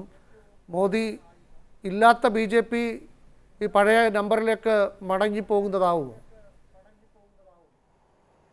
ഇല്ലല്ല ഇത് വിനോ അത് തെറ്റാണ്. ബ്രാൻഡ് മോഡി മാത്രമൊന്നുമല്ലോ നമ്മളിപ്പോൾ ഡിസ്കസ് ചെയ്തുകൊണ്ടിരിക്കുന്ന കാര്യങ്ങളിൽ എനിക്ക് മുമ്പ് പറഞ്ഞ സുഹൃത്ത് എത്രയോ കാര്യങ്ങൾ സ്റ്റാറ്റിസ്റ്റിക്സ് പ്രൊവൈഡ് ചെയ്തു ഈ കാര്യത്തെ പറ്റിയിട്ട്. അതിനോടെല്ലാം പൂർണമായിട്ട് ഞാൻ യോജിക്കുകയാണ്. ഇതെന്താ വെച്ചാൽ മോഡി മോഡീനെ മുന്നിൽ നിർത്തിയിരിക്കുന്നത് മാത്രമേ ഉള്ളൂ. ഇതിന്റെ പിന്നിൽ ഇപ്പോൾ നമുക്കറിയാം ഈ ഇത് കുറേ കാലമായിട്ട് പ്ലാൻ ചെയ്ത് വന്നിട്ടുള്ള പ്രക്രിയയാണ്. നമുക്ക് ഡീമോണറ്റൈസേഷൻ എടുക്കാം. ഡീമോണറ്റൈസേഷൻ എടുത്തോടുകൂടി തന്നെ പ്രതിപക്ഷ പാർട്ടികളുടെ നട്ടലൊടിഞ്ഞു കാരണം ഭരണത്തിലിരിക്കുന്ന ഏതൊരു കക്ഷിക്കും അവർ ഡീമോണറ്റൈസ് ചെയ്യാൻ പോകുന്ന ഡേറ്റ് അറിയാലോ. അന്നത്തേക്ക് അവർക്ക് അതിന് വേണ്ടിയിട്ടുള്ള എല്ലാ ഇടപാടും ചെയ്തു വെക്കുക നമ്മുടെ ഉദാഹരണമായിട്ട് മായാവതി മിണ്ടാതിരിക്കുന്നതിന് കാരണം എന്താണ്? മായാവതി മിണ്ടാതിരിക്കും. ഇപ്പം മോഡിയുടെ പ്രഭാവമാണെങ്കിൽ പിന്നെ മായാവതി മിണ്ടാതിരിക്കണ്ടല്ലോ. പത്ത് എം പിമാരാണ് മായാവതിക്ക് യു പിയിൽ ഉണ്ടായിരുന്നത്. ഇപ്പോൾ ഒരൊറ്റൊന്നിനെയും കാണാനില്ല. മായാവതി ഒട്ടും ഇലക്ഷനിൽ പോകുന്നുമില്ല. ഇലക്ട്രൽ അലയൻസുകൾ ഫോം ചെയ്യണമില്ല. കഴിഞ്ഞ തവണ പത്തുണ്ടായത് സമാജ്വാദി പാർട്ടിയുടെ കൂടെയാണ്. അവരും മിണ്ടാതിരിക്കുന്നു. അങ്ങനെ ഒരുപാട് ആൾക്കാർ ഇപ്പോൾ മിണ്ടാതിരിക്കുന്നുണ്ട്. അത് മിണ്ടാതിരിക്കുന്നതിന് കാരണം എന്താണെന്ന് നമുക്ക് വ്യക്തമായിട്ട് അറിയാലോ എന്നുള്ളത്. അപ്പോൾ അങ്ങനെ പ്രഭാവം വ്യക്തിപ്രഭാവമാണെങ്കിൽ നമ്മൾ ഒരു കാര്യം അംഗീകരിക്കുക. ഇന്ദിരാഗാന്ധിയുടെ വ്യക്തിപ്രഭാവം. വ്യക്തിപ്രഭാവം ആയിരത്തി തൊള്ളായിരത്തി എഴുപത് മറ്റേ ബംഗ്ലാദേശ് യുദ്ധത്തിനെ തുടർന്നുണ്ടായ വലിയ വ്യക്തിപ്രഭാവം ഉണ്ടായിരുന്നു. പിന്നെ ഇന്ദിരാഗാന്ധി തിരിച്ചു വന്നല്ലോ. ഇന്ദിരാഗാന്ധിയുടെ മൂന്ന് വോട്ട് നോക്കണം ആയത് ആയിരത്തി തൊള്ളായിരത്തി എഴുപത്തി ഒന്നിലെ വോട്ട് പിന്നെ എഴുപത്തേഴിൽ താ കുത്തനം താഴെ പോയ വോട്ട് പിന്നെ രണ്ടാമത് തിരിച്ചു വന്ന വോട്ട്. ഇത് നാല് ശതമാനം വ്യത്യാസമുള്ളൂ എന്റെ ഓർമ്മ വെച്ച് പറയണം നാലോ അഞ്ചോ ശതമാനം വ്യത്യാസം ഉണ്ടായിട്ടുള്ളൂ. അത് ഈ മൂന്ന് ഇലക്ഷനുകൾക്കിടയിൽ അതിന്റെ ഇടയിൽ അവർ കുത്തനം താഴത്തോട്ട് പോയ ഇലക്ഷനിൽ വരെ അവർക്ക് നൂറ്റമ്പതോളം സീറ്റ് കിട്ടിയിട്ടുണ്ട്. അത് നമ്മൾ മറന്നു പോയത് കേരളത്തിൽ അത് ഇരുപതിൽ ഇരുപത് സീറ്റ്. അത് വ്യക്തിപ്രഭാവമാണ്. രണ്ടാമത് തിരിച്ചു വരുന്നപ്പോൾ സിനി എ കെ ആന്റണി അടക്കമുള്ള മനസ്സിലല്ലേ അനിൽ ആന്റണിയുടെ പിതാവ് അടക്കമുള്ള ആൾക്കാരെ എതിർത്തിട്ട് പോലും അവർ അന്ന് ജയിച്ചല്ലോ. അപ്പോൾ അത് വ്യക്തിപ്രഭാവമാണ്. പക്ഷേ ഇതല്ലല്ലോ ഇതിൽ പൊളിറ്റിക്കൽ എല്ലാം യൂട്ടിലൈസ് ചെയ്യുന്നുണ്ട്. ഒരു കാര്യമല്ല യൂട്ടിലൈസ് ചെയ്യുന്നത്. അവരെ അവർ ഗംഭീരമായിട്ട് പൊളിറ്റി എന്താ പറയുക റിയൽ പൊളിറ്റിക്സ് പൊളിറ്റിക്കൽ ട്രിക്സ് മറ്റുള്ള സംവിധാനങ്ങൾ ഉപയോഗിക്കുക നമ്മുടെ ഗവൺമെന്റ് കീഴിലുള്ള സംവിധാനങ്ങൾ ഉപയോഗിക്കുക ഗവർണർമാരെ ഉപയോഗിക്കുക ഇങ്ങനെയുള്ള കാര്യങ്ങൾ ഉപയോഗിച്ചുകൊണ്ടത്. ഗവർണർമാരൊന്നും മുമ്പ് ഉപയോഗിച്ചിട്ടില്ല എന്നുള്ളത് നമുക്ക് പറയാൻ പറ്റില്ല നമുക്കറിയാമല്ലോ ചരിത്രപരമായിട്ട് ഏതൊക്കെ മന്ത്രിസഭകൾ ഏതൊക്കെ കാലഘട്ടത്തിൽ പിരിച്ചു വിട്ടു എന്നുള്ളത് നമുക്കറിയാം. ഭൂരിപക്ഷമുള്ള അത് തുടക്കം കേരളത്തിലുണ്ടായതാണല്ലോ. അപ്പോൾ അതേമാതിരി തന്നെ എന്താ നമ്മൾ പറയല്ലോ all the dirty tricks which are available in politics is being played other side is also playing dirty tricks അത് വേറെ വിഷയം. ആ ആ ഡേർട്ടി ട്രിക്സ് എല്ലാം ഉപയോഗിച്ചുകൊണ്ട് ആണെങ്കിൽ പിന്നെ വ്യക്തിപ്രഭാവം എന്നങ്ങനെ വ്യക്തിപ്രഭാവം എന്ന് പറഞ്ഞാൽ നമുക്ക് നോക്കാം ഇന്ദിരാഗാന്ധിയുടെ മരണത്തിന് ശേഷം ഒരു ചെറിയ കാലഘട്ടം അറ്റ്ലീസ്റ്റ് രണ്ട് മൂന്ന് കൊല്ലമെങ്കിലും രാജീവ് ഗാന്ധിക്ക് ഒരു വ്യക്തിപ്രഭാവം ഉണ്ടായിരുന്നു. ജവഹർലാൽ നെഹ്റുവിന് വ്യക്തിപ്രഭാവം ഉണ്ടായിരുന്നു. അദ്ദേഹം ഇത്തരത്തിലുള്ള ഒരു ട്രിക്സ് ഉപയോഗിക്കാറില്ല. മനസ്സിലായില്ലേ? അദ്ദേഹത്തിന്റെ കാലഘട്ടത്തിൽ എനിക്ക് തോന്നുന്നു അദ്ദേഹം ചെയ്തിട്ടുള്ള ഒരൊറ്റ ഒരു ബ്ലണ്ടർ എന്ന് പറഞ്ഞത് ഇന്ദിരാഗാന്ധിയുടെ ഇതനുസരിച്ചിട്ട് കേരളത്തിലെ ഗവൺമെന്റ് പിരിച്ചുവിട്ടു. അത് തെറ്റാണ്. കാരണം ഭൂരിപക്ഷമുള്ള ഒരു ഗവൺമെന്റ് പിരിച്ചുവിടാൻ പാടില്ല എന്നുള്ള ഒരു പ്രിൻസിപ്പിൾ നമ്മൾ എടുക്കുക. സർക്കാരിയ കമ്മീഷൻകാർ പറഞ്ഞതനുസരിച്ചിട്ട് തന്നെ. അപ്പോൾ ആ നിലയ്ക്ക് ഇത് എല്ലാ ട്രിക്സും കൂടെ ഉപയോഗിച്ചിട്ട് ഒരാളുടെ വ്യക്തിപ്രഭാവമാണെന്ന് പറയേണ്ട ആവശ്യമില്ലല്ലോ. അങ്ങനെയാണെങ്കിൽ ഇപ്പോൾ ഉദാഹരണം തന്നെ നമുക്ക് വ്യക്തമായിട്ട് അറിയാം ഞാൻ ഒറ്റ കണക്ക് പറഞ്ഞുതരാം. നമ്മൾ ബീഹാറിൽ ഈ മ- മഹാഗഡ്ബന്ധൻ നിലനിൽക്കണമെങ്കിൽ ഈ മുപ്പത്തൊമ്പത് ഒന്ന് എന്ന് വന്നിട്ടുള്ള സംഭവം തിരിച്ച് മുപ്പത്തൊമ്പത് ഒന്നാവും. J D U R J D കൂടുകയാണെങ്കിൽ അതാണല്ലോ ഇതിന്റെ വോട്ട് കാണിക്കുന്നത്. അങ്ങനെ വരികയാണെങ്കിൽ മുപ്പത് സീറ്റ് നഷ്ടപ്പെട്ടു ഇവരിക്കുന്നു ഇവർ മാനത്ത് നോക്കിയിരിക്കുകയല്ലേ ഈ ഇന്ത്യ അലയൻസ്? അതിന്റെ കൂടെ തെലുഗു ഞാൻ നേരത്തെ പറഞ്ഞല്ലോ തെലുഗുദേശം വെറുതെ റോട്ടിന്റെ മുകളിൽ നിൽക്കരുന്ന് അവരായിട്ട് അലയൻസ് ഉണ്ടാക്കാൻ ഇവർ പോയില്ല. അപ്പോൾ അതിന്റെ അർത്ഥം ദീർഘ ആ ഭയങ്കര പൊളിറ്റിക്കൽ ഫെയിലിയർ ഉണ്ടായിട്ടുണ്ട് കോൺഗ്രസ് പാർട്ടിയുടെ കയ്യിൽ നിന്ന്. അവർ ആൾക്കാർ കൂറുമാറിപ്പോണ കാര്യം വിട്ടേക്ക്. അത് വ്യക്തിപരമായിട്ട് ആൾക്കാരുടെ കഴിവുടെ അല്ല അവരുടെ എന്താ പറയുക ആദർശമില്ലായ്മയായിട്ട് നമുക്ക് കൂട്ടിക്കോ. പക്ഷേ അലയൻസസ് ഉണ്ടാക്കുന്നതിൽ പോലും അവർ പരാജയപ്പെടുന്നു. മമതാ ബാനർജിയായിട്ട് അലയൻസ് ഉണ്ടാക്കുന്നില്ലല്ലോ. മമതാ ബാനർജി അവരോട് സംസാരിക്കുന്നത് ഒരു പട്ടിയോട് സംസാരിക്കുന്ന രീതിയിലാണ് ഇത് രണ്ടെണ്ണം വേണിച്ചാൽ പിടിച്ചോ. മനസ്സിലായില്ലേ? ദോ ഹഡ്ഡി എ കുത്തേക്കോ. കാര്യം മനസ്സിലായി? ഒരു രണ്ട് എല്ല് ഒരു പട്ടിക്ക് ഇട്ട് കൊടുക്കണ മാതിരി. ആ അങ്ങനത്തെ ഒരു സ്ഥിതിവിശേഷം എങ്ങനെ വരുന്നു എന്നുള്ളത് നമ്മൾ ചിന്തിക്കണം. അപ്പോൾ അതിന്റെ അർത്ഥം അലയൻസ് കാര്യപ്പെട്ട നമ്മൾ മമതാ ഇപ്പം ശരിക്കും പറഞ്ഞാൽ മമതാ ബാനർജി ചൂടുവെള്ളത്തിലാണ്. അല്ലാതെ നമുക്ക് പറയാൻ പറ്റില്ല. പല കാരണങ്ങളുമുണ്ട് പക്ഷേ മമതാ ബാനർജി ചൂടുവെള്ളത്തിൽ നിൽക്കുമ്പോൾ തന്നെ മമതാ ബാനർജിക്ക് നമ്മൾ ഹേമാനന്ദ ബിസ്വലിനെ കൊണ്ടുവരുന്നു. അദ്ദേഹം കോൺഗ്രസ് വന്നതാണ്. സുവേന്ദു റോയിനെ കൊണ്ടുവരുന്നു കോൺഗ്രസ് അത് റിയൽ പൊളിറ്റിക്സ്. ഇവർക്ക് അതായത് നേരത്തെ എന്താണ് വാഷിംഗ് മെഷീൻ എന്നൊരു വാക്ക് ഉപയോഗിച്ചല്ലോ പവൻ കേറ അതായത് നിങ്ങൾക്ക് എന്ത് അഴിമതി? വൈ എസ് ആർ സി പിയുടെ ഏറ്റവും വലിയ അഴിമതിക്കാരനാണ് ജഗൻമോഹൻ റെഡ്ഡി. എത്രയോ തവണ ജയിലിൽ പോയിട്ടുള്ള വ്യക്തിയാണ്. ആ അങ്ങനത്തെ എല്ലാ ആൾക്കാരും അതിൽ അവരെല്ലാം പോകുന്നു. ശാരദാ സ്കാമിൽപ്പെട്ട ഒരു മുകുൾ റോയും സുവേന്ദു അധികാരിയും അവരെ ഒഴിവാക്കി കൊടുക്കുന്നു. ആദർശ് സ്കാമിൽ പെട്ടിട്ടുള്ള അശോക് ജവാനെ ഒഴിവാക്കി കൊടുക്കുന്നു. അങ്ങനെ എല്ലാ ആൾക്കാരെയും നമുക്കറിയാലോ പ്രഫുൽ പട്ടേലിനെതിരായിട്ടുള്ള സ്കാം നമുക്കറിയാലോ അദ്ദേഹം വ്യോമന മന്ത്രിയായിരുന്ന കാലഘട്ടത്തിൽ. അപ്പോൾ ഈ എല്ലാ ടാക്ടിക്സും ഉപയോഗിച്ചുകൊണ്ട് നമ്മളത് മോ നരേന്ദ്രമോദിയുടെ കരിഷ്മയാണെന്ന് പറഞ്ഞാൽ എന്താ അർത്ഥമുള്ളത്? കരിഷ്മ ഇല്ല എന്നൊന്നും നമുക്ക് പറയാൻ പറ്റില്ല. കാരണം അദ്ദേഹത്തിന്റെ സ്പീച്ചും കാര്യങ്ങളൊക്കെ അദ്ദേഹം ഒരു ഗ്രാസ് റൂട്ട് പൊളിറ്റീഷ്യനാണല്ലോ. അദ്ദേഹം ആർ എസ് എസ് ഓഫീസിലോ അല്ലെങ്കിൽ അവിടെ കിടന്നിട്ടോ അല്ലെങ്കിൽ പ്രചാരകമായിട്ട് നടന്നിട്ടുള്ളോ എന്തായാലും വേണ്ടില്ല. അദ്ദേഹം ഒരു ഗ്രാസ് റൂട്ട് ലെവലിൽ നിന്ന് വന്നിട്ടുള്ള പേര്. പക്ഷേ അവിടെ കൂടെ ഒരു കാര്യമുണ്ട്. അദ്ദേഹത്തെ എയർ ഡ്രോപ്പ് ചെയ്താണ് ഗുജറാത്ത് മുഖ്യമന്ത്രിയായിട്ട്. അവിടെ ഒരു എം എൽ എ പോലും അല്ലായിരുന്നു അദ്ദേഹം. ഒരു എം പി പോലും നോർമൽ എം പി അല്ല എം എൽ എ ആയിരുന്ന അല്ലാത്ത ഒരാളെ ഗുജറാത്തിലെ മുഖ്യമന്ത്രിയാക്കുന്നു. പിന്നെ ആയതിനു ശേഷം അദ്ദേഹത്തെ ഇങ്ങനെ വളർത്തുന്നു. അപ്പോൾ അതിൽ മീഡിയക്ക് പങ്കുണ്ട് അതിൽ ബിസിനസ് ഹൗസുകൾക്ക് പങ്കുണ്ട് അതിൽ ആർ എസ് എസിന് പങ്കുണ്ട്. അപ്പോൾ എല്ലാം കൂടെ കൂടിയിട്ടാണ് നമ്മൾ ഇത് ഇപ്പോൾ നമ്മൾ കാണുന്ന ഈ സംഭവം. അപ്പോൾ ഒരു കാര്യം കൂടെ പറഞ്ഞു ഞാൻ അവസാനിപ്പിക്കുക ഇവിടെ വലിയൊരു സംഭവമുണ്ട്. ഉത്തർപ്രദേശ് ഉത്തർഖണ്ഡ് എന്ന് പറഞ്ഞാൽ ഉത്ത സംയുക്ത ഉത്തർപ്രദേശും ബീഹാർ ജാർഖണ്ഡ് എന്ന് പറയുമ്പോൾ സംയുക്ത ബീഹാറുമാണ്. ആ രണ്ട് സംസ്ഥാനങ്ങളിൽ കൂടിയിട്ട് നമ്മൾ നോക്കുമ്പോൾ ഏകദേശം നൂറ്റമ്പത് സീറ്റുണ്ട്. ഈ നൂറ്റമ്പത് സീറ്റാണ് ഇതിൽ ക്രൂഷ്യലായിട്ടുള്ളത്. ഏറ്റവും ക്രൂഷ്യലായിട്ട് കിടക്കുന്നത്. ഈ നൂറ്റമ്പത് സീറ്റും ഇവർ സ്വീപ്പ് ചെയ്യണമെന്ന് വിചാരിച്ചോ? അപ്പോൾ ഇവരുടെ സംഖ്യ ഭയങ്കരമായിട്ട് കൂടിയില്ലേ? അതിന്റെ കൂടെ മമതാ ബാനർജിയുടെ സീറ്റുകൾ ഇട പോകണമെങ്കിൽ കൂടി അവരുടെ കാൽക്കുലേഷൻ ഇവരുടെ കാൽക്കുലേഷൻ അതാണ്. പി കെ എന്നൊക്കെ നമ്മൾ പറയുമെങ്കിലും മായാവതിയുടെ പത്ത് സീറ്റുണ്ട്. ആ പത്ത് സീറ്റിൽ ഒരുപത് എം എൽ എം പിമാരെ അവരെയൊക്കെ വിലക്ക് വാങ്ങിച്ചു കഴിഞ്ഞു.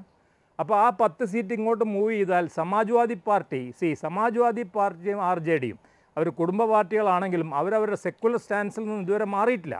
അപ്പോൾ ഈ രണ്ട് പാർട്ടികളെ ഒതുക്കിയിട്ടാണെങ്കിൽ മനസ്സിലായില്ല? അവർ ശക്തരാണ് അവർ വിട്ടുകൊടുക്കണം എന്നൊന്നുമില്ല അതിന്റെ മുകളിലാണ് ഇന്ത്യയുടെ ഫൈറ്റ് എടുക്കണമെന്ന് എന്റെ അഭിപ്രായത്തിൽ ഇന്ത്യയുടെ മുഖ്യമായിട്ടുള്ള ഫൈറ്റ് കർണാടകത്തിലെ ഫൈറ്റ് എന്ന് പറഞ്ഞാൽ അഞ്ചോ പത്തോ സീറ്റിന് വേണ്ടിയിട്ടുള്ള ഫൈറ്റാണ് പത്തെണ്ണം അഞ്ചെന്നുള്ള ഇപ്പോൾ അഞ്ചോ പത്തോ കോൺഗ്രസ് കിട്ടുമോ ഇല്ലെന്നുള്ളതാണ് ഇത് ഒരു കാര്യപ്പെട്ട ഒരു സംഭവമായിട്ട് മാറുന്നു.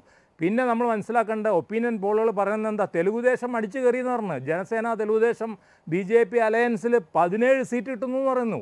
അതൊരു അഡീഷണൽ സീറ്റാണ് അപ്പം ഞാൻ ഈ പറഞ്ഞ സീറ്റുകളും അതിന് പുറമെ ഈ രണ്ട് പറഞ്ഞിട്ടുള്ള ബംഗാളിലെയും ഈ സംയുക്ത ഉത്തർപ്രദേശ് അതായത് ഇതിന്റെ പേര് ശരിക്കും പറഞ്ഞാൽ ആര്യവർത്ത എന്നാണ്. അതായത് അമൃത്സർ തൊട്ടിട്ട് പട്ന വരെയുള്ള ഒരു ഏരിയ ആര്യവർത്തന എന്ന് പറഞ്ഞാൽ പറ പറ- രാജസ്ഥാൻ മധ്യപ്രദേശ് ഹരിയാന ഇതിൽ പഞ്ചാബ് നമ്മൾ ഒഴിവാക്കുന്നു. ബാക്കിയുള്ള സ്ഥലങ്ങളിൽ പീക്ക് ചെയ്തു എന്ന് പറഞ്ഞാലും എന്റെ ഒരു അഭിപ്രായത്തിൽ ഈ സ്ഥലങ്ങളിലൊക്കെ ഒരു പത്ത് മുപ്പത് സീറ്റ് ബാക്കി കിടക്കുന്നുണ്ട്. പത്ത് മുപ്പത് നാൽപ്പത് സീറ്റ് ബാക്കി കിടക്കുന്നത് മുഖ്യമായിട്ട് അത് കിടക്കുന്നത് ഈ പ്രാദേശിക പാർട്ടികളുടെ കയ്യിലും കോൺഗ്രസിന്റെ കയ്യിലാണ്. അതും കൂടെ തൂത്തുവാരിയാൽ ഇവർക്ക് കുറച്ചും കൂടെ മുന്നോട്ട് പോകാം പക്ഷേ എന്നാൽ ഇവർക്ക് നാനൂറ് എത്താൻ പറ്റില്ല. അപ്പോൾ സംയുക്തമായിട്ടുള്ള ഡീമോണിറ്റൈസേഷൻ കാലഘട്ടം തൊട്ട് ഇപ്പോൾ അതിന്റെ ഭാഗമാണല്ലോ ഇപ്പോൾ കോൺഗ്രസിനെതിരായിട്ട് ഇപ്പോൾ പിഴ ചുമത്തിയിരിക്കുന്നത് എന്റെ ഡിപ്പാർട്ട്മെന്റ് മനസ്സിലായോ? ആ ചുമതല വരുത്തലും ഫ്രീസിങ് ഓഫ് ദ അക്കൗണ്ട്സും എല്ലാം കൂടെ ഇവർ വളരെ പ്ലാൻ ചെയ്തിട്ട് ചെയ്തിട്ടുള്ളത്. ഇപ്പുറത്തെ വസ്തു ഒരു തരത്തിലുള്ള പ്ലാനിങ്ങും ഇല്ല. ഒന്നല്ലെങ്കിൽ വെറുതെ ഒരു യാത്രയ്ക്ക് ഉറപ്പിടുക അല്ലെങ്കിൽ ഇങ്ങോട്ട് തിരിച്ചൊരു യാത്രയൊക്കെ വരിക. അതിന്റെ ഇടയിൽ ഇതെല്ലാം ഇവർ തൂത്തുവാരാണ്. ഇവർ കളിക്കുന്ന റിയൽ പൊളിറ്റിക്സ് പൊളിറ്റിക്കൽ ആയിട്ടുള്ള ഗെയിമാണ് ഇവർ കളിക്കുന്നത്. അതിനെ തടുക്കാനായിട്ട് ഇന്ത്യ എന്ന സഖ്യത്തിന് പറ്റുന്നില്ല എന്നുള്ളതാണ് ഒരു വസ്തുത. അപ്പോൾ ഏതായാലും നമ്മളെല്ലാവരും പ്രതീക്ഷിക്കുന്നത് ഇന്ത്യ തിരിച്ചടിക്കും എന്നുള്ളതാണ്. തിരിച്ചടിക്കുന്നത് നമുക്ക് വിശ്വസിക്കാം. പക്ഷേ വീണ്ടും വേണുവിന്റെ സ്റ്റാൻഡ് എന്തായിരുന്നു? ഈ നാനൂറ് എങ്ങനെ എന്നുള്ളതാണ്. ഈ നാനൂറ് എന്ന് പറഞ്ഞിട്ടുണ്ടെങ്കിൽ ഒരു വ്യക്തിയുടെ പ്ര- പ്രഭാവം കൊണ്ടല്ല വ്യക്തിപ്രഭാവം കൊണ്ടല്ല. ആ പാർട്ടിയുടെ പൊളിറ്റിക്സാണ് ഞാൻ പറഞ്ഞു വരുന്നത് ആ പാർട്ടിയുടെ ഈ ഡിഫൻഡേഴ്സ് ഈ ചണ്ടി എല്ലാം കൂടെ കൊണ്ട് കൊണ്ടുപോയിട്ട് ഈ പാർട്ടി അടുത്ത ഭരണത്തിൽ വരണമെങ്കിൽ അടുത്ത ഭരണത്തിൽ അവർ തോറ്റ് പിന്നീട് വേറൊരു പാർട്ടി വരേണ്ടി വരും. കാരണം ഈ ആൾക്കാരെല്ലാം അവർ കൊണ്ടു നടക്കുന്നത് അവർ നമ്മൾ എമർജൻസി കാലത്ത് കണ്ടാണ് ഇന്ദിരാഗാന്ധിയുടെ കൂടെ നിന്നിരുന്നവരെല്ലാവരും കൂറുമാറി അപ്പുറത്ത്. ബഹുഗുണൻ ജഗുവൻ ജഗ്ജീവൻ റാമക പിന്നെ അവരെല്ലാവരും ഇങ്ങോട്ട് തിരിച്ച് ഇങ്ങോട്ടേക്ക് പോകുന്നു. എ കെ ആന്റണി അടക്കം. നമുക്കറിയാലോ എ കെ ആന്റണി അങ്ങനെ ആദർശധീരനാണല്ലോ. ആദർശധീരൻ അങ്ങോട്ട് പോയി എന്നിട്ട് ആദർശധീരൻ ഇങ്ങോട്ട് വന്ന്. ഇപ്പോൾ പുത്രൻ വീണ്ടും അങ്ങോട്ടേക്ക് പോയി. അപ്പോൾ അത്തരത്തിലുള്ള കളികളാണ് ഉണ്ടാവുന്നത് പാകിസ്ഥാനിലേക്ക് അയക്കണമെന്ന് പ്രസംഗിക്കുകയും ചെയ്യുന്നു. അച്ഛൻ സി ഡബ്ല്യു സി മെമ്പറായി ഇരിപ്പുണ്ട്. അതെ. അതെ അതെ. അതെ അതെ അതായത് സ്വന്തം പിതാവിനെ പാകിസ്ഥാനിലോട്ട് കഴിഞ്ഞിടത്തോളം വേഗം ഒരു ഹെലികോപ്റ്ററിൽ ഇവിടെ നേരത്തെ നേരെ പോകാൻ പറ്റുമല്ലോ ഇപ്പോൾ സംജോത്ത എക്സ്പ്രസ്സിൽ വഴിയൊന്നും പോകാനുള്ള കഴിവ് അദ്ദേഹത്തിനില്ല. അപ്പോൾ അദ്ദേഹത്തിന് നമുക്കൊരു ഹെലികോപ്റ്ററിലോ പ്ലെയിനിലോ കയറ്റി വിടാമെന്നായിരിക്കും പുത്രം വിചാരിക്കുന്നത്. മനസ്സിലായി? അപ്പോൾ അതെന്തോട്ടെ? അപ്പോൾ അത് വിനു പറഞ്ഞതിനെ കൊണ്ട് ഞാൻ പറഞ്ഞത് മാത്രമേ ഉള്ളൂ. അപ്പോൾ ഏതായാലും ഞങ്ങൾ പറയുന്നത് ഈ നാനൂറ് അപ്രാപ്യമാണെന്നാണ് ഞങ്ങളുടെ അഭിപ്രായം. സ്റ്റാറ്റിസ്റ്റിക്സ് വെച്ച് നോക്കുമ്പോൾ പക്ഷേ റിയൽ പൊളിറ്റിക്സ് ഗ്രൗണ്ടിലോട്ട് വരുമ്പോൾ എങ്ങനെ ഉണ്ടാവും നമുക്ക് പറയാൻ പറ്റില്ല. ഇടവേളയ്ക്ക് ശേഷം എത്താം. ഡോക്ടർ ഗോപകുമാർ ഈ ബ്രാൻഡ് മോദി എന്ന് പറയുന്നത് ഒരാളല്ല. അതിന് പിന്നിൽ ഒരുപാട് പേരുണ്ട് എന്നാണ് ഡോക്ടർ ഫസൽ ഗഫൂർ പറഞ്ഞത്. പക്ഷേ ഈ തെരഞ്ഞെടുപ്പിന്റെ രീതി കണ്ടിട്ട് ഇതൊരു അമേരിക്കൻ പ്രസിഡന്റ് തെരഞ്ഞെടുപ്പ് പോലെയാണ്. ഒരു നേതാവിനെ മുൻനിർത്തിയുള്ള ഒരു തെരഞ്ഞെടുപ്പ് എന്ന മട്ടിൽ.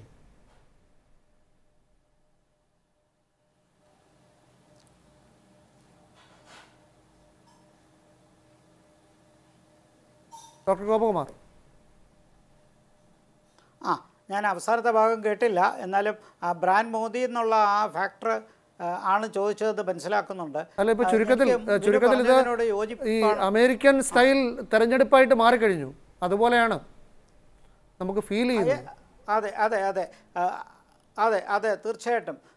അമേരിക്കയിലെ പ്രസിഡൻഷ്യൽ ഇലക്ഷനകത്ത് ഒരു സ്ഥാനാർത്ഥിയുടെ പ്രസിഡന്റ് സ്ഥാനാർത്ഥിയുടെ കഴിവ് അദ്ദേഹം മുമ്പ് ഗവർണറോ സിറ്റി മേയറോ ഒക്കെ ആയിരുന്നപ്പോൾ എത്രത്തോളം ഗംഭീരമായിട്ടാണ് കാര്യങ്ങൾ കൊണ്ടുപോയത്.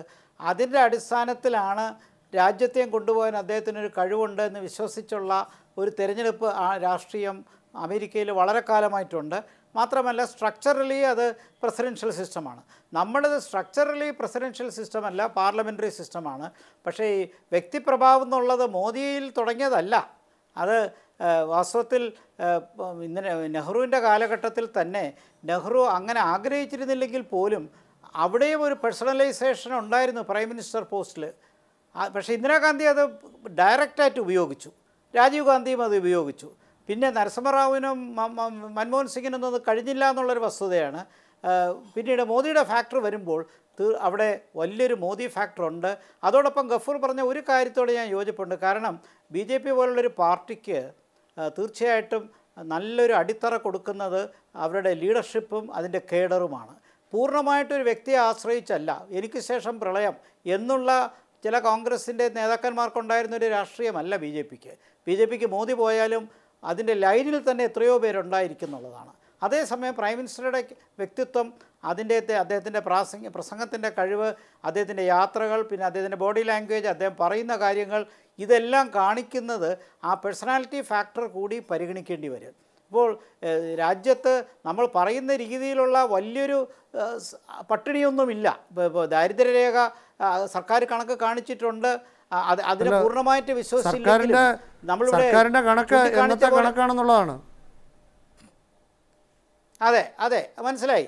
പക്ഷേ അതേസമയം നമ്മൾ മറക്കരുത്. രാജ്യം കഴിഞ്ഞ ഈ പത്ത് പതിനഞ്ച് ഇരുപത് വർഷത്തിനിടയ്ക്ക് എത്ര എത്രയോ മുന്നേറിയെന്നും ഇന്ന് ലോകത്തിലെ ചൈന കഴിഞ്ഞാൽ ഏറ്റവും വലിയ മിഡിൽ ക്ലാസ് ഈ രാജ്യത്താണ്. നമ്മൾ അത്തരം ഫാക്ടേഴ്സിനെ കാണാതെ ഒരു ശതമാനത്തിന് മാത്രമാണ് മുഴുവൻ അധികാരവും നിൽക്കുന്നത് എന്ന് പറയുന്ന കാര്യമില്ല. പർച്ചേസിംഗ് പവർ കൂടിയിട്ടുണ്ട്. ഇന്ന് ലോകത്തിലെ അഞ്ചാമത്തെ സാമ്പത്തിക ശക്തിയായിട്ട് ഇന്ത്യ മാറിയിട്ടുണ്ട്. അസമത്വങ്ങൾ നന്നായിട്ടുള്ള ഒരു രാജ്യം തന്നെയാണ്. അസമത്വങ്ങൾ നിലനിൽക്കുന്ന നിലനിൽക്കുന്നതോടൊപ്പം തന്നെ രാജ്യ കോടി ഉണ്ടായിട്ടുണ്ട്. ഡോക്ടർ ഗോപകുമാർ നമ്മളിപ്പോൾ നേരത്തെ റജുമോൻ പറഞ്ഞ കണക്ക് പോലാണെങ്കിൽ ഈ ബില്യണേഴ്സിന്റെ എണ്ണം കൂടിയിട്ടുണ്ട്. പക്ഷേ എൺപത് കോടി മനുഷ്യർ ഈ ഫ്രീ റേഷനെ ആശ്രയിച്ച് കഴിയുന്നുണ്ട് ഇവിടെ. ഞാൻ ബില്യനേഴ്സിനെ അല്ല ഞാൻ ഞാൻ മിഡിൽ ക്ലാസ്സിനെയാണ് പറഞ്ഞത്. മിഡിൽ ക്ലാസ് എന്ന് പറയുന്ന ഒരു വിഭാഗം ഇന്ത്യയിൽ വളരെ ശക്തമായിട്ട് വളർന്നിട്ടുണ്ട്. ഇന്ത്യയിലെ നൂറ്റി നാൽപ്പത് കോടി ജനങ്ങളിൽ നല്ലൊരു വിഭാഗം മിഡിൽ ക്ലാസ് വളർന്നിട്ടുണ്ട്. ആ മിഡിൽ ക്ലാസ്സിന്റെ എണ്ണമാണ് ഞാൻ പറഞ്ഞത്. ചൈന കഴിഞ്ഞാൽ ലോകത്തിലെ രണ്ടാമത്തെ പർച്ചേസിംഗ് പവർ പാരിറ്റി ഉള്ളവരാണ്. അപ്പോൾ നമ്മളെപ്പോഴും നെഗറ്റീവും സിനിക്കലുമായിട്ടുള്ള കാര്യങ്ങൾ ചൂണ്ടിക്കാണിക്കുന്നതിൽ തെറ്റൊന്നുമില്ല. യാഥാർത്ഥ്യമായിട്ട് പറയാം. പക്ഷേ രാജ്യത്തിന്റെ വളർച്ച ആ ഈ യാഥാർത്ഥ്യം മറുവശത്തുമുണ്ടെന്നുള്ള ആ അതെ കണക്ക് പറയുമ്പോൾ മറുവശത്തുള്ള കണക്കും പറയണം. മറുവശത്തുള്ള കണക്കും പറയണം. സാമ്പത്തിക പുരോഗതി നേടിയ കണക്കും പറയണം. ആ- നേട്ടം രാജ്യത്തിലെ ജനങ്ങൾക്ക് മാനിഫെസ്റ്റോയിൽ പറഞ്ഞിരുന്നതാണ് ഇരുപത്തഞ്ച് കോടി ജോലി. എത്ര കോടി ജോലി കൊടുത്തു എന്ന് ചോദിച്ചപ്പോൾ അടുത്തിടെ ഒരു മന്ത്രി പറഞ്ഞത് ഒന്ന് ദശാംശം രണ്ട് കോടി. അത് ഇ പി എഫ് ഒയുടെ കണക്ക് വെച്ചാണ് പറഞ്ഞത്. തീർച്ചയായിട്ടും. പക്ഷേ അസിം പ്രേംജി സർവകലാശാല പുറത്തിറക്കിയ ഒരു കണക്കനുസരിച്ചാണെങ്കിൽ ഇരുപത്തഞ്ച് വയസ്സിൽ താഴെയുള്ള ആളുകളിൽ ഏതാണ്ട് ഈ പത്തിൽ നാല് പേരും അൺഎംപ്ലോയിഡ് ആണെന്നാണ്. ഞാൻ സമ്മതിക്കുന്നു തീർച്ചയായിട്ടും സമ്മതിക്കുന്നു. തൊഴിലില്ലായ്മ വലിയൊരു ഫാക്ടറാണ്. നഗര ഗ്രാമ വ്യത്യാസം ഗ്രാജുവേറ്റ്സിന്റെ കാര്യമാണ്. ഇരുപത്തഞ്ച് വയസ്സിൽ താഴെയുള്ള ഗ്രാജുവേറ്റ്സിൽ അതെ ഞാൻ പത്തിൽ നാല് പേരും അതെ അതെ സമ്മത അതെ. അതേസമയം ഈ യുവ യുവാക്കളെ വേണ്ട രീതിയിൽ നല്ല തൊഴിലവസരങ്ങൾ ഉണ്ടാക്കി കൊടുക്കുകയും രാജ്യത്തിന്റെ സാമ്പത്തിക ശക്തിക്കും അവരുടെ വളർച്ചയ്ക്കും വേണ്ട രീതിയിലുള്ള വിദ്യാഭ്യാസവും തൊഴിലവസരവും നൈപുണ്യവും എല്ലാം കൊടുത്താൽ ഇവരെ മാറ്റിക്കൊണ്ടുവരാവുന്നതേ ഉള്ളൂ. അത് അതിൽ വലിയ പുരോഗതിയുടെ ഓരോ വർഷവും പത്ത് ശതമാനം വീതം കൂടുണ്ട് എന്നിട്ട് എന്താണ് രണ്ടായിരത്തി ഇരുപത്തിരണ്ടൊക്കെ ആകുമ്പോഴേക്ക് അത് അത് ഏതാണ്ട് ഇരട്ടി ആവുമെന്നാണ് പറഞ്ഞത്. ഇപ്പോഴത്തെ കണക്ക് എത്രയാണ് ത്രീ പോയിന്റ് ഫൈവ് പെർസെന്റ് ആണ് കൂടിയിട്ടുള്ളത്. ആകെ രണ്ടായിരത്തി പതിനാല് മുതൽ. ഇതൊക്കെ പറയുമ്പോൾ ഇങ്ങനെ പൊരുത്തപ്പെടുന്നില്ല. പരസ്യം അതെ അല്ല അതേ കൊടുക്കാം. പണമുണ്ടെങ്കിൽ പരസ്യം കൊടുക്കാം. ആളുകളുണ്ടെങ്കിൽ പ്രചരിപ്പിക്കാം. അല്ല ഞാൻ അതിനപ്പുറത്തേക്ക് യാഥാർത്ഥ്യമാണ്. അതെ. അല്ലെ അല്ല ചർച്ചയിലേക്ക് അല്ല ഈ പറഞ്ഞ ചോദ്യത്തിലേക്ക് തിരിച്ചു വരാം. ഈ വ്യക്തിപ്രഭാവം എന്ന് പറയുന്നതിനോടൊപ്പം തന്നെ കേഡർ പ്രവൃത്തിയും കേഡർ സംഘടനാ പ്രവൃത്തിയും അതിന്റെ ശക്തിയും കൂടി ഈ പാർട്ടിക്കുണ്ട്. അതുകൂടിയാണ് ഇവർക്ക് വളരാനുള്ള സാധ്യത ഉണ്ടാക്കിയത് അപ്പോൾ കോൺഗ്രസൈസേഷൻ ബി ജെ പിയിൽ നടക്കുമ്പോഴും അതിനകത്തൊരു ഒരു ഫിൽറ്ററിംഗ് പ്രോസസ്സുണ്ട് ആ ഫിൽറ്ററിംഗ് പ്രോസസ്സിന്റെ ശക്തിയും കോർപ്പറേറ്റ് എക്കോണമിയിൽ അവർ നൽകിയ സ്വാധീനവും അത് അവർക്ക് ഉണ്ടാക്കിയ നേട്ടങ്ങളും പിന്നെ ക്ഷേമപ്രവർത്തനങ്ങൾ കുറച്ചെങ്കിലും ഇപ്പം നേരത്തെ പറഞ്ഞല്ലോ എൺപത് ശതമാനം എൺപത് കോടി ആൾക്കാർക്ക് പിന്നെ ഫ്രീ ഫുഡ് കൊടുത്തു എന്ന്. അപ്പോൾ ഫുഡ് സെക്യൂരിറ്റിയുടെ കാര്യത്തിൽ നൽകിയ വെൽഫെയർ പ്ലാൻസും ഇതെല്ലാം കൂടി ചേർന്ന് ഇതിന് ടോപ്പായിട്ട് ഹിന്ദുത്വ ഫാക്ടറും. ഈ ഇതെല്ലാം കൂടി ചേർന്നാണ് ഈ ഭൂരിപക്ഷം ഉണ്ടാകുന്നത്. ആ ആ ഭൂരി അത് ആ ഭൂരിപക്ഷം വെറും ഒരു പട്ടിണിയിലോ ഇല്ലെങ്കിൽ റഷ്യയിലെയോ ചൈനയിലെ പോലെ ഒരു ഏക പാർട്ടി സമ്പ്രദായത്തിലേക്കൊന്നും എത്തുമെന്ന് നമുക്ക് പറയാൻ പറ്റില്ല. ഒരിക്കലും പറ്റില്ല. ഇവിടുത്തെ ജനാധിപത്യത്തിന്റെ ക്വാളിറ്റി കുറഞ്ഞു എന്ന് പറഞ്ഞാൽ തീർച്ചയായിട്ടും സത്യമാണ്. ഒരുപാട് കുറഞ്ഞിട്ടുണ്ട്. പക്ഷേ റഷ്യയിലെയും ഈജിപ്തിലെയും ടർക്കിയിലെയും ചൈനയിലെയും പോലെയുള്ള ജനാധിപത്യമാണ് ഇവിടെ നടക്കുന്നതെന്നും ഏക പാർട്ടി ഒരിക്കലും ഇന്ത്യയിൽ സംഭവിക്കാൻ പോകുന്നില്ല. ഇന്ത്യയിൽ ഒരിക്കലും ഒരു വൺ പാർട്ടി സ്റ്റേറ്റ് ഉണ്ടാകാൻ പോകുന്നില്ല. വൺ പാ വൺ പാർട്ടി വൺ എലക്ഷൻ എന്ന് വിജയിക്കാൻ പോണില്ല ഞാനതിനെക്കുറിച്ച് വ്യക്തമായിട്ട് എന്റെ അഭിപ്രായമുണ്ട്. ഒരിക്കലും ഒരു രാജ്യം ഒരു തിരഞ്ഞെടുപ്പ് പ്രായോഗികമാകുന്നില്ല. അപ്പോൾ അത്തരം കാര്യങ്ങൾ നിലനിൽക്കുമ്പോഴും ഇവിടെ പ്രതിപക്ഷത്തിന്റെ വളർച്ച ആവശ്യമാണ് ജനാധിപത്യത്തിന്. ശക്തമായൊരു പ്രതിപക്ഷം ഉണ്ടെങ്കിൽ പാർലമെന്ററി സമ്പ്രദായം വിജയിക്കത്തുള്ളൂ. മാധ്യമങ്ങളുടെ സ്വാതന്ത്ര്യം പ്രാധാന്യമാണ്. അതോടൊപ്പം ജനാധിപത്യത്തിലുള്ള വളർച്ചയ്ക്ക് മറ്റ് നമ്മൾ ചെയ്യേണ്ട കാര്യങ്ങളോ ഇപ്പോൾ അഴിമതി വലിയൊരു ത്രട്ടായിട്ട് വന്നിരിക്കുകയല്ലേ? അഴിമതി പറയുമ്പോൾ നമുക്ക് ആരെയും ഒഴിവാക്കാൻ പറ്റുന്നില്ലല്ലോ. എല്ലാ പാർട്ടികളെയും ഒരുപോലെ പറയേണ്ട ഒരു അവസ്ഥയിലേക്കല്ലേ വന്നിരിക്കുന്നത്. അഴിമതി മറ്റെന്താണ് ഉള്ളത് രാജ്യം അടുത്തിടെ കണ്ട ഏറ്റവും വലിയ അഴിമതിയാണ് ഈ തെരഞ്ഞെടുപ്പ് ബോണ്ട്. അത് സുപ്രീം കോടതി തന്നെ അത് മനസ്സിലാക്കിയിട്ടാണ് അത് റദ്ദാക്കുന്നത്. അതിന്റെ പങ്ക് വെച്ചവർ പറ്റിയവർ ഒരുപാടുണ്ട്. പിണറായി വിജയൻ എന്താണ് നമ്മുടെ സാന്റിയാഗോ മാർട്ടിന്റെ പണം വാങ്ങിയതിൽ കോൺഗ്രസും ഉണ്ട് എന്ന് പറയുന്നുണ്ടായിരുന്നു. അദ്ദേഹത്തിന്റെ സഖ്യകക്ഷിയായ ഡി എം കെക്കാണ് ആയിരത്തി മുന്നൂറ് കോടിയിൽ അറുന്നൂറ് കോടിയോളം കിട്ടിയത്. ബാക്കി പ്രധാന പങ്ക് കിട്ടിയത് ടി എം സിക്ക് ബി ജെ പിക്ക് നൂറ് കോടി കിട്ടി കോൺഗ്രസിന് അൻപത് കോടി കിട്ടി. ആ കണക്ക് അദ്ദേഹം പറഞ്ഞില്ലെന്ന് മാത്രം. എന്തായാലും C P M electoral bond വാങ്ങിയില്ല എന്നതുകൊണ്ട് അവർക്ക് അഴിമതിക്കെതിരെ ആ വിഷയത്തിൽ സംസാരിക്കാം. ഇടവേളയ്ക്ക് ശേഷം തിരിച്ചെത്തും. സമയം അവസാനിക്കുന്നതുകൊണ്ടാണ് ശ്രീ ഫക്രുദ്ദീൻ അലി ബി ജെ പിയുടെ മിഷൻ നാനൂറിലെ അവസാനത്തെ കമന്റ്. ഇപ്പോൾ നോക്കുമ്പോൾ അത്ര പോസിബിൾ ആയിട്ടുള്ള കാര്യമല്ല. നേരത്തെ പറഞ്ഞ പോലെ സൗത്തിലും ഈസ്റ്റിലും സീപ്പ് നടത്താനോ അല്ലെങ്കിൽ വലിയ രീതിയിലുള്ള സീറ്റുകൾ നേടിയെടുക്കാനോ പറ്റും. സൗത്തിലേക്ക് ഇതുവരെ ജയിക്കാത്ത പല സ്ഥലങ്ങളും അവർ ജയിക്കും. പക്ഷേ ഈ പറയുന്ന പോലെ ഈ നാനൂറിലേക്ക് എത്താവുന്ന ഒരു സീറ്റ് അവരെ സഹായിക്കുന്ന രീതി ജയിക്കാൻ സാധ്യതയില്ല. പിന്നെ പല സ്ഥലത്തും അവരുടെ സഖ്യങ്ങൾക്ക് ഉണ്ടായ വിള്ളൽ. ഇനി അതല്ലെങ്കിൽ ഈ ഇലക്ഷന് മുമ്പുള്ള സമയത്ത് ഇന്ദിരാഗാന്ധിയുടെ സദാവതരംഗം ഉണ്ടാക്കിയ പോലുള്ള ഇമ്പാക്റ്റ് ഉണ്ടാക്കുന്ന ഏതെങ്കിലും അത് നെഗറ്റീവായിരുന്നു പോസിറ്റീവായിട്ടുള്ള കാര്യം ഉണ്ടാ ഉണ്ടാകേണ്ടതുണ്ട്. അത് അങ്ങനെ ഒന്നും വരാത്ത സാഹചര്യത്തിൽ നമ്മൾ ലോജിക്കലി സംസാരിക്കുമ്പോൾ is not possible a target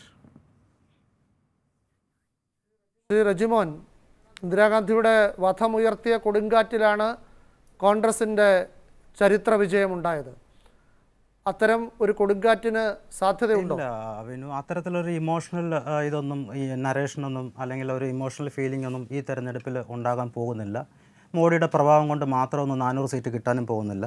രണ്ട് കാര്യങ്ങൾ പറയാനുണ്ട്. ഐ എം എഫ് പോലും അപ്രോപ്രിയേറ്റ് മെഷറായിട്ട് പി പി പി അതായത് പർച്ചേസിംഗ് പവർ പാരിറ്റിയെ കണക്കാക്കുന്നില്ല എന്നുള്ളത് ഗവർണർ സാറിനോട് പറയുന്നു. ഇന്ത്യയിൽ അഗ്രേറിയൻ ജോബ്സിൽ പോലും നാൽപ്പത് ശതമാനത്തിന് താഴോട്ട് കുറഞ്ഞിട്ടുണ്ട്. നോൺ അഗ്രേറിയൻ ജോബ്സായ മാനുഫാക്ചറിങ് സെക്ടറിൽ ഇടിവ് വന്നിട്ടുണ്ട്. ആകെ കൂടി മുന്നോട്ട് പോയിട്ടുള്ളത് ഫ്രണ്ട് ലൈൻ ജോബ്സിലാണ് അത് ഈ സർവീസ് സെക്ടറും ഫ്രണ്ട് ലൈൻ ജോബ്സിലാണ് അതുകൊണ്ടാണ് സാറിന് തോന്നുന്നത് ഈ മിഡിൽ ക്ലാസ്സിൽ വർധന വന്നിട്ടുണ്ടെന്നുള്ളത്. പക്ഷേ ഏറ്റവും ഷെയിംഫുൾ ആയിട്ടുള്ള കാര്യം എന്താണെന്ന് ചോദിച്ചു കഴിഞ്ഞാൽ ഇത്രയും ബില്ലിനേഴ്സുള്ള ഇന്ത്യയിൽ ഇന്നത്തെ ഇന്നത്തെ national level four floor level minimum wages എത്രയും സാറിന് അറിയാം നൂറ്റി എഴുപത്തി ആറ് രൂപ മാത്രം പെർ ഡേ ഇത് നാണക്കേടാണ്. ഇനി ഇലക്ഷനിലേക്ക് വരാം. ഇനി ഇലക്ഷനിലേക്ക് വരാം. വിനു മോഡി പറഞ്ഞത് മോഡിയോട് ഈ മാർച്ച് പതിനാറാം തീയതി ഇന്ത്യ ടുഡേയുടെ കോൺക്ലേവിൽ സംസാരിച്ചപ്പം മോഡിയോട് ചോദിച്ചു നിങ്ങൾ എന്തിനെ ഇലക്ഷനെ കുറിച്ചിട്ട് എന്താണ് പറയുക നിങ്ങൾ ട്വന്റി ട്വന്റി ഫോറിൽ സ്റ്റക്കാണ് ഞാൻ ട്വന്റി ട്വന്റി നിങ്ങൾ ഞാൻ ട്വന്റി ട്വന്റി നയനിനെ കുറിച്ച് മാത്രമല്ല സംസാരം ഞാൻ ട്വന്റി ഫോർട്ടി സെവനെ കുറിച്ചാണ് പറയുന്നത്. ആ ലോങ് ടേം പ്ലാനിനുള്ള എല്ലാ സ്ട്രിങ്സും ഇവർ പുള്ളി ചെയ്യുന്നുണ്ട്. അതിൽ കോടതി കൂടത്തിലുണ്ട് ബാങ്കുകൾ കൂടത്തിലുണ്ട് ജുഡീഷ്യറി കൂടത്തിലുണ്ട് പോലീസ് കൂടത്തിലുണ്ട് പൈസ കൂടത്തിലുണ്ട് ഇലക്ട്രൽ ബോണ്ടുകൾ കൂടത്തിലുണ്ട്. ഒപ്പോസിഷനെ ഇല്ലാതാക്കുക. ഇതൊരു ഒരു അഞ്ച് കൊല്ലം കൂടി ഇന്ത്യ ഈ ബി ജെ പിയുടെ കയ്യിലോ എൻ ഇന്ത്യയുടെ കയ്യിലോ കൊടുത്തു കഴിഞ്ഞാൽ ഇവിടെയുള്ള കോൺഗ്രസും മറ്റ് റീജിയണൽ പാർട്ടീസും ഇല്ലാതാകും. ഇതൊരു ഏകപക്ഷി ഭരണമായിട്ട് പുട്ടിനെ പോലെയോ ഷീയെ പോലെയോ അല്ലെങ്കിൽ എർദോഗനെ പോലെയോ ഒക്കെ തന്നെ ആകും. അത് തന്നെ ആയിരിക്കും ഇവിടെ സംഭവിക്കാൻ പോകുന്നതും. അതുകൊണ്ട് എനിക്ക് ഈ നടക്കുന്ന ഇലക്ഷനിൽ ഇതൊരു ഫ്രീ ആൻഡ് ഫെയർ ഇലക്ഷനാണ് തൊണ്ണൂറ്റേഴ് കോടി ജനങ്ങൾ വോട്ട് ചെയ്യാൻ പോകുന്ന ലോകത്തെ ഏറ്റവും വലിയ ജനാധിപത്യ രാജ്യത്തെ ഒരു ഫ്രീ ആൻഡ് ഫെയർ ഇലക്ഷനാണ് ഇനി നടക്കാൻ പോകുന്നത് എന്നുള്ളത് എനിക്ക് യാതൊരു വിശ്വാസവും ഇല്ല വിനു. ഇപ്പോൾ വരെയുള്ള സയൻസിൽ അവസാനിക്കുമ്പോൾ ഒരു കാര്യം പറയാം. നേരത്തെ അനിൽ ആന്റണിയെക്കുറിച്ച് പരാമർശിച്ചുകൊണ്ടാണ് ബി ജെ പിയുടെ തെരഞ്ഞെടുപ്പ് പ്രകടന പത്രിക രൂപീകരിക്കുന്നതിനുള്ള കമ്മിറ്റി ഉണ്ടാക്കിയപ്പോൾ അതിൽ കേരളത്തിൽ നിന്നുള്ള ഏക അംഗം അനിൽ ആന്റണിയാണ് മറ്റൊരു മലയാളി കൂടി ഉണ്ട് രാജീവ് ചന്ദ്രശേഖർ പക്ഷേ അത് കർണാടക കോട്ടയിൽ നിന്നാണ്.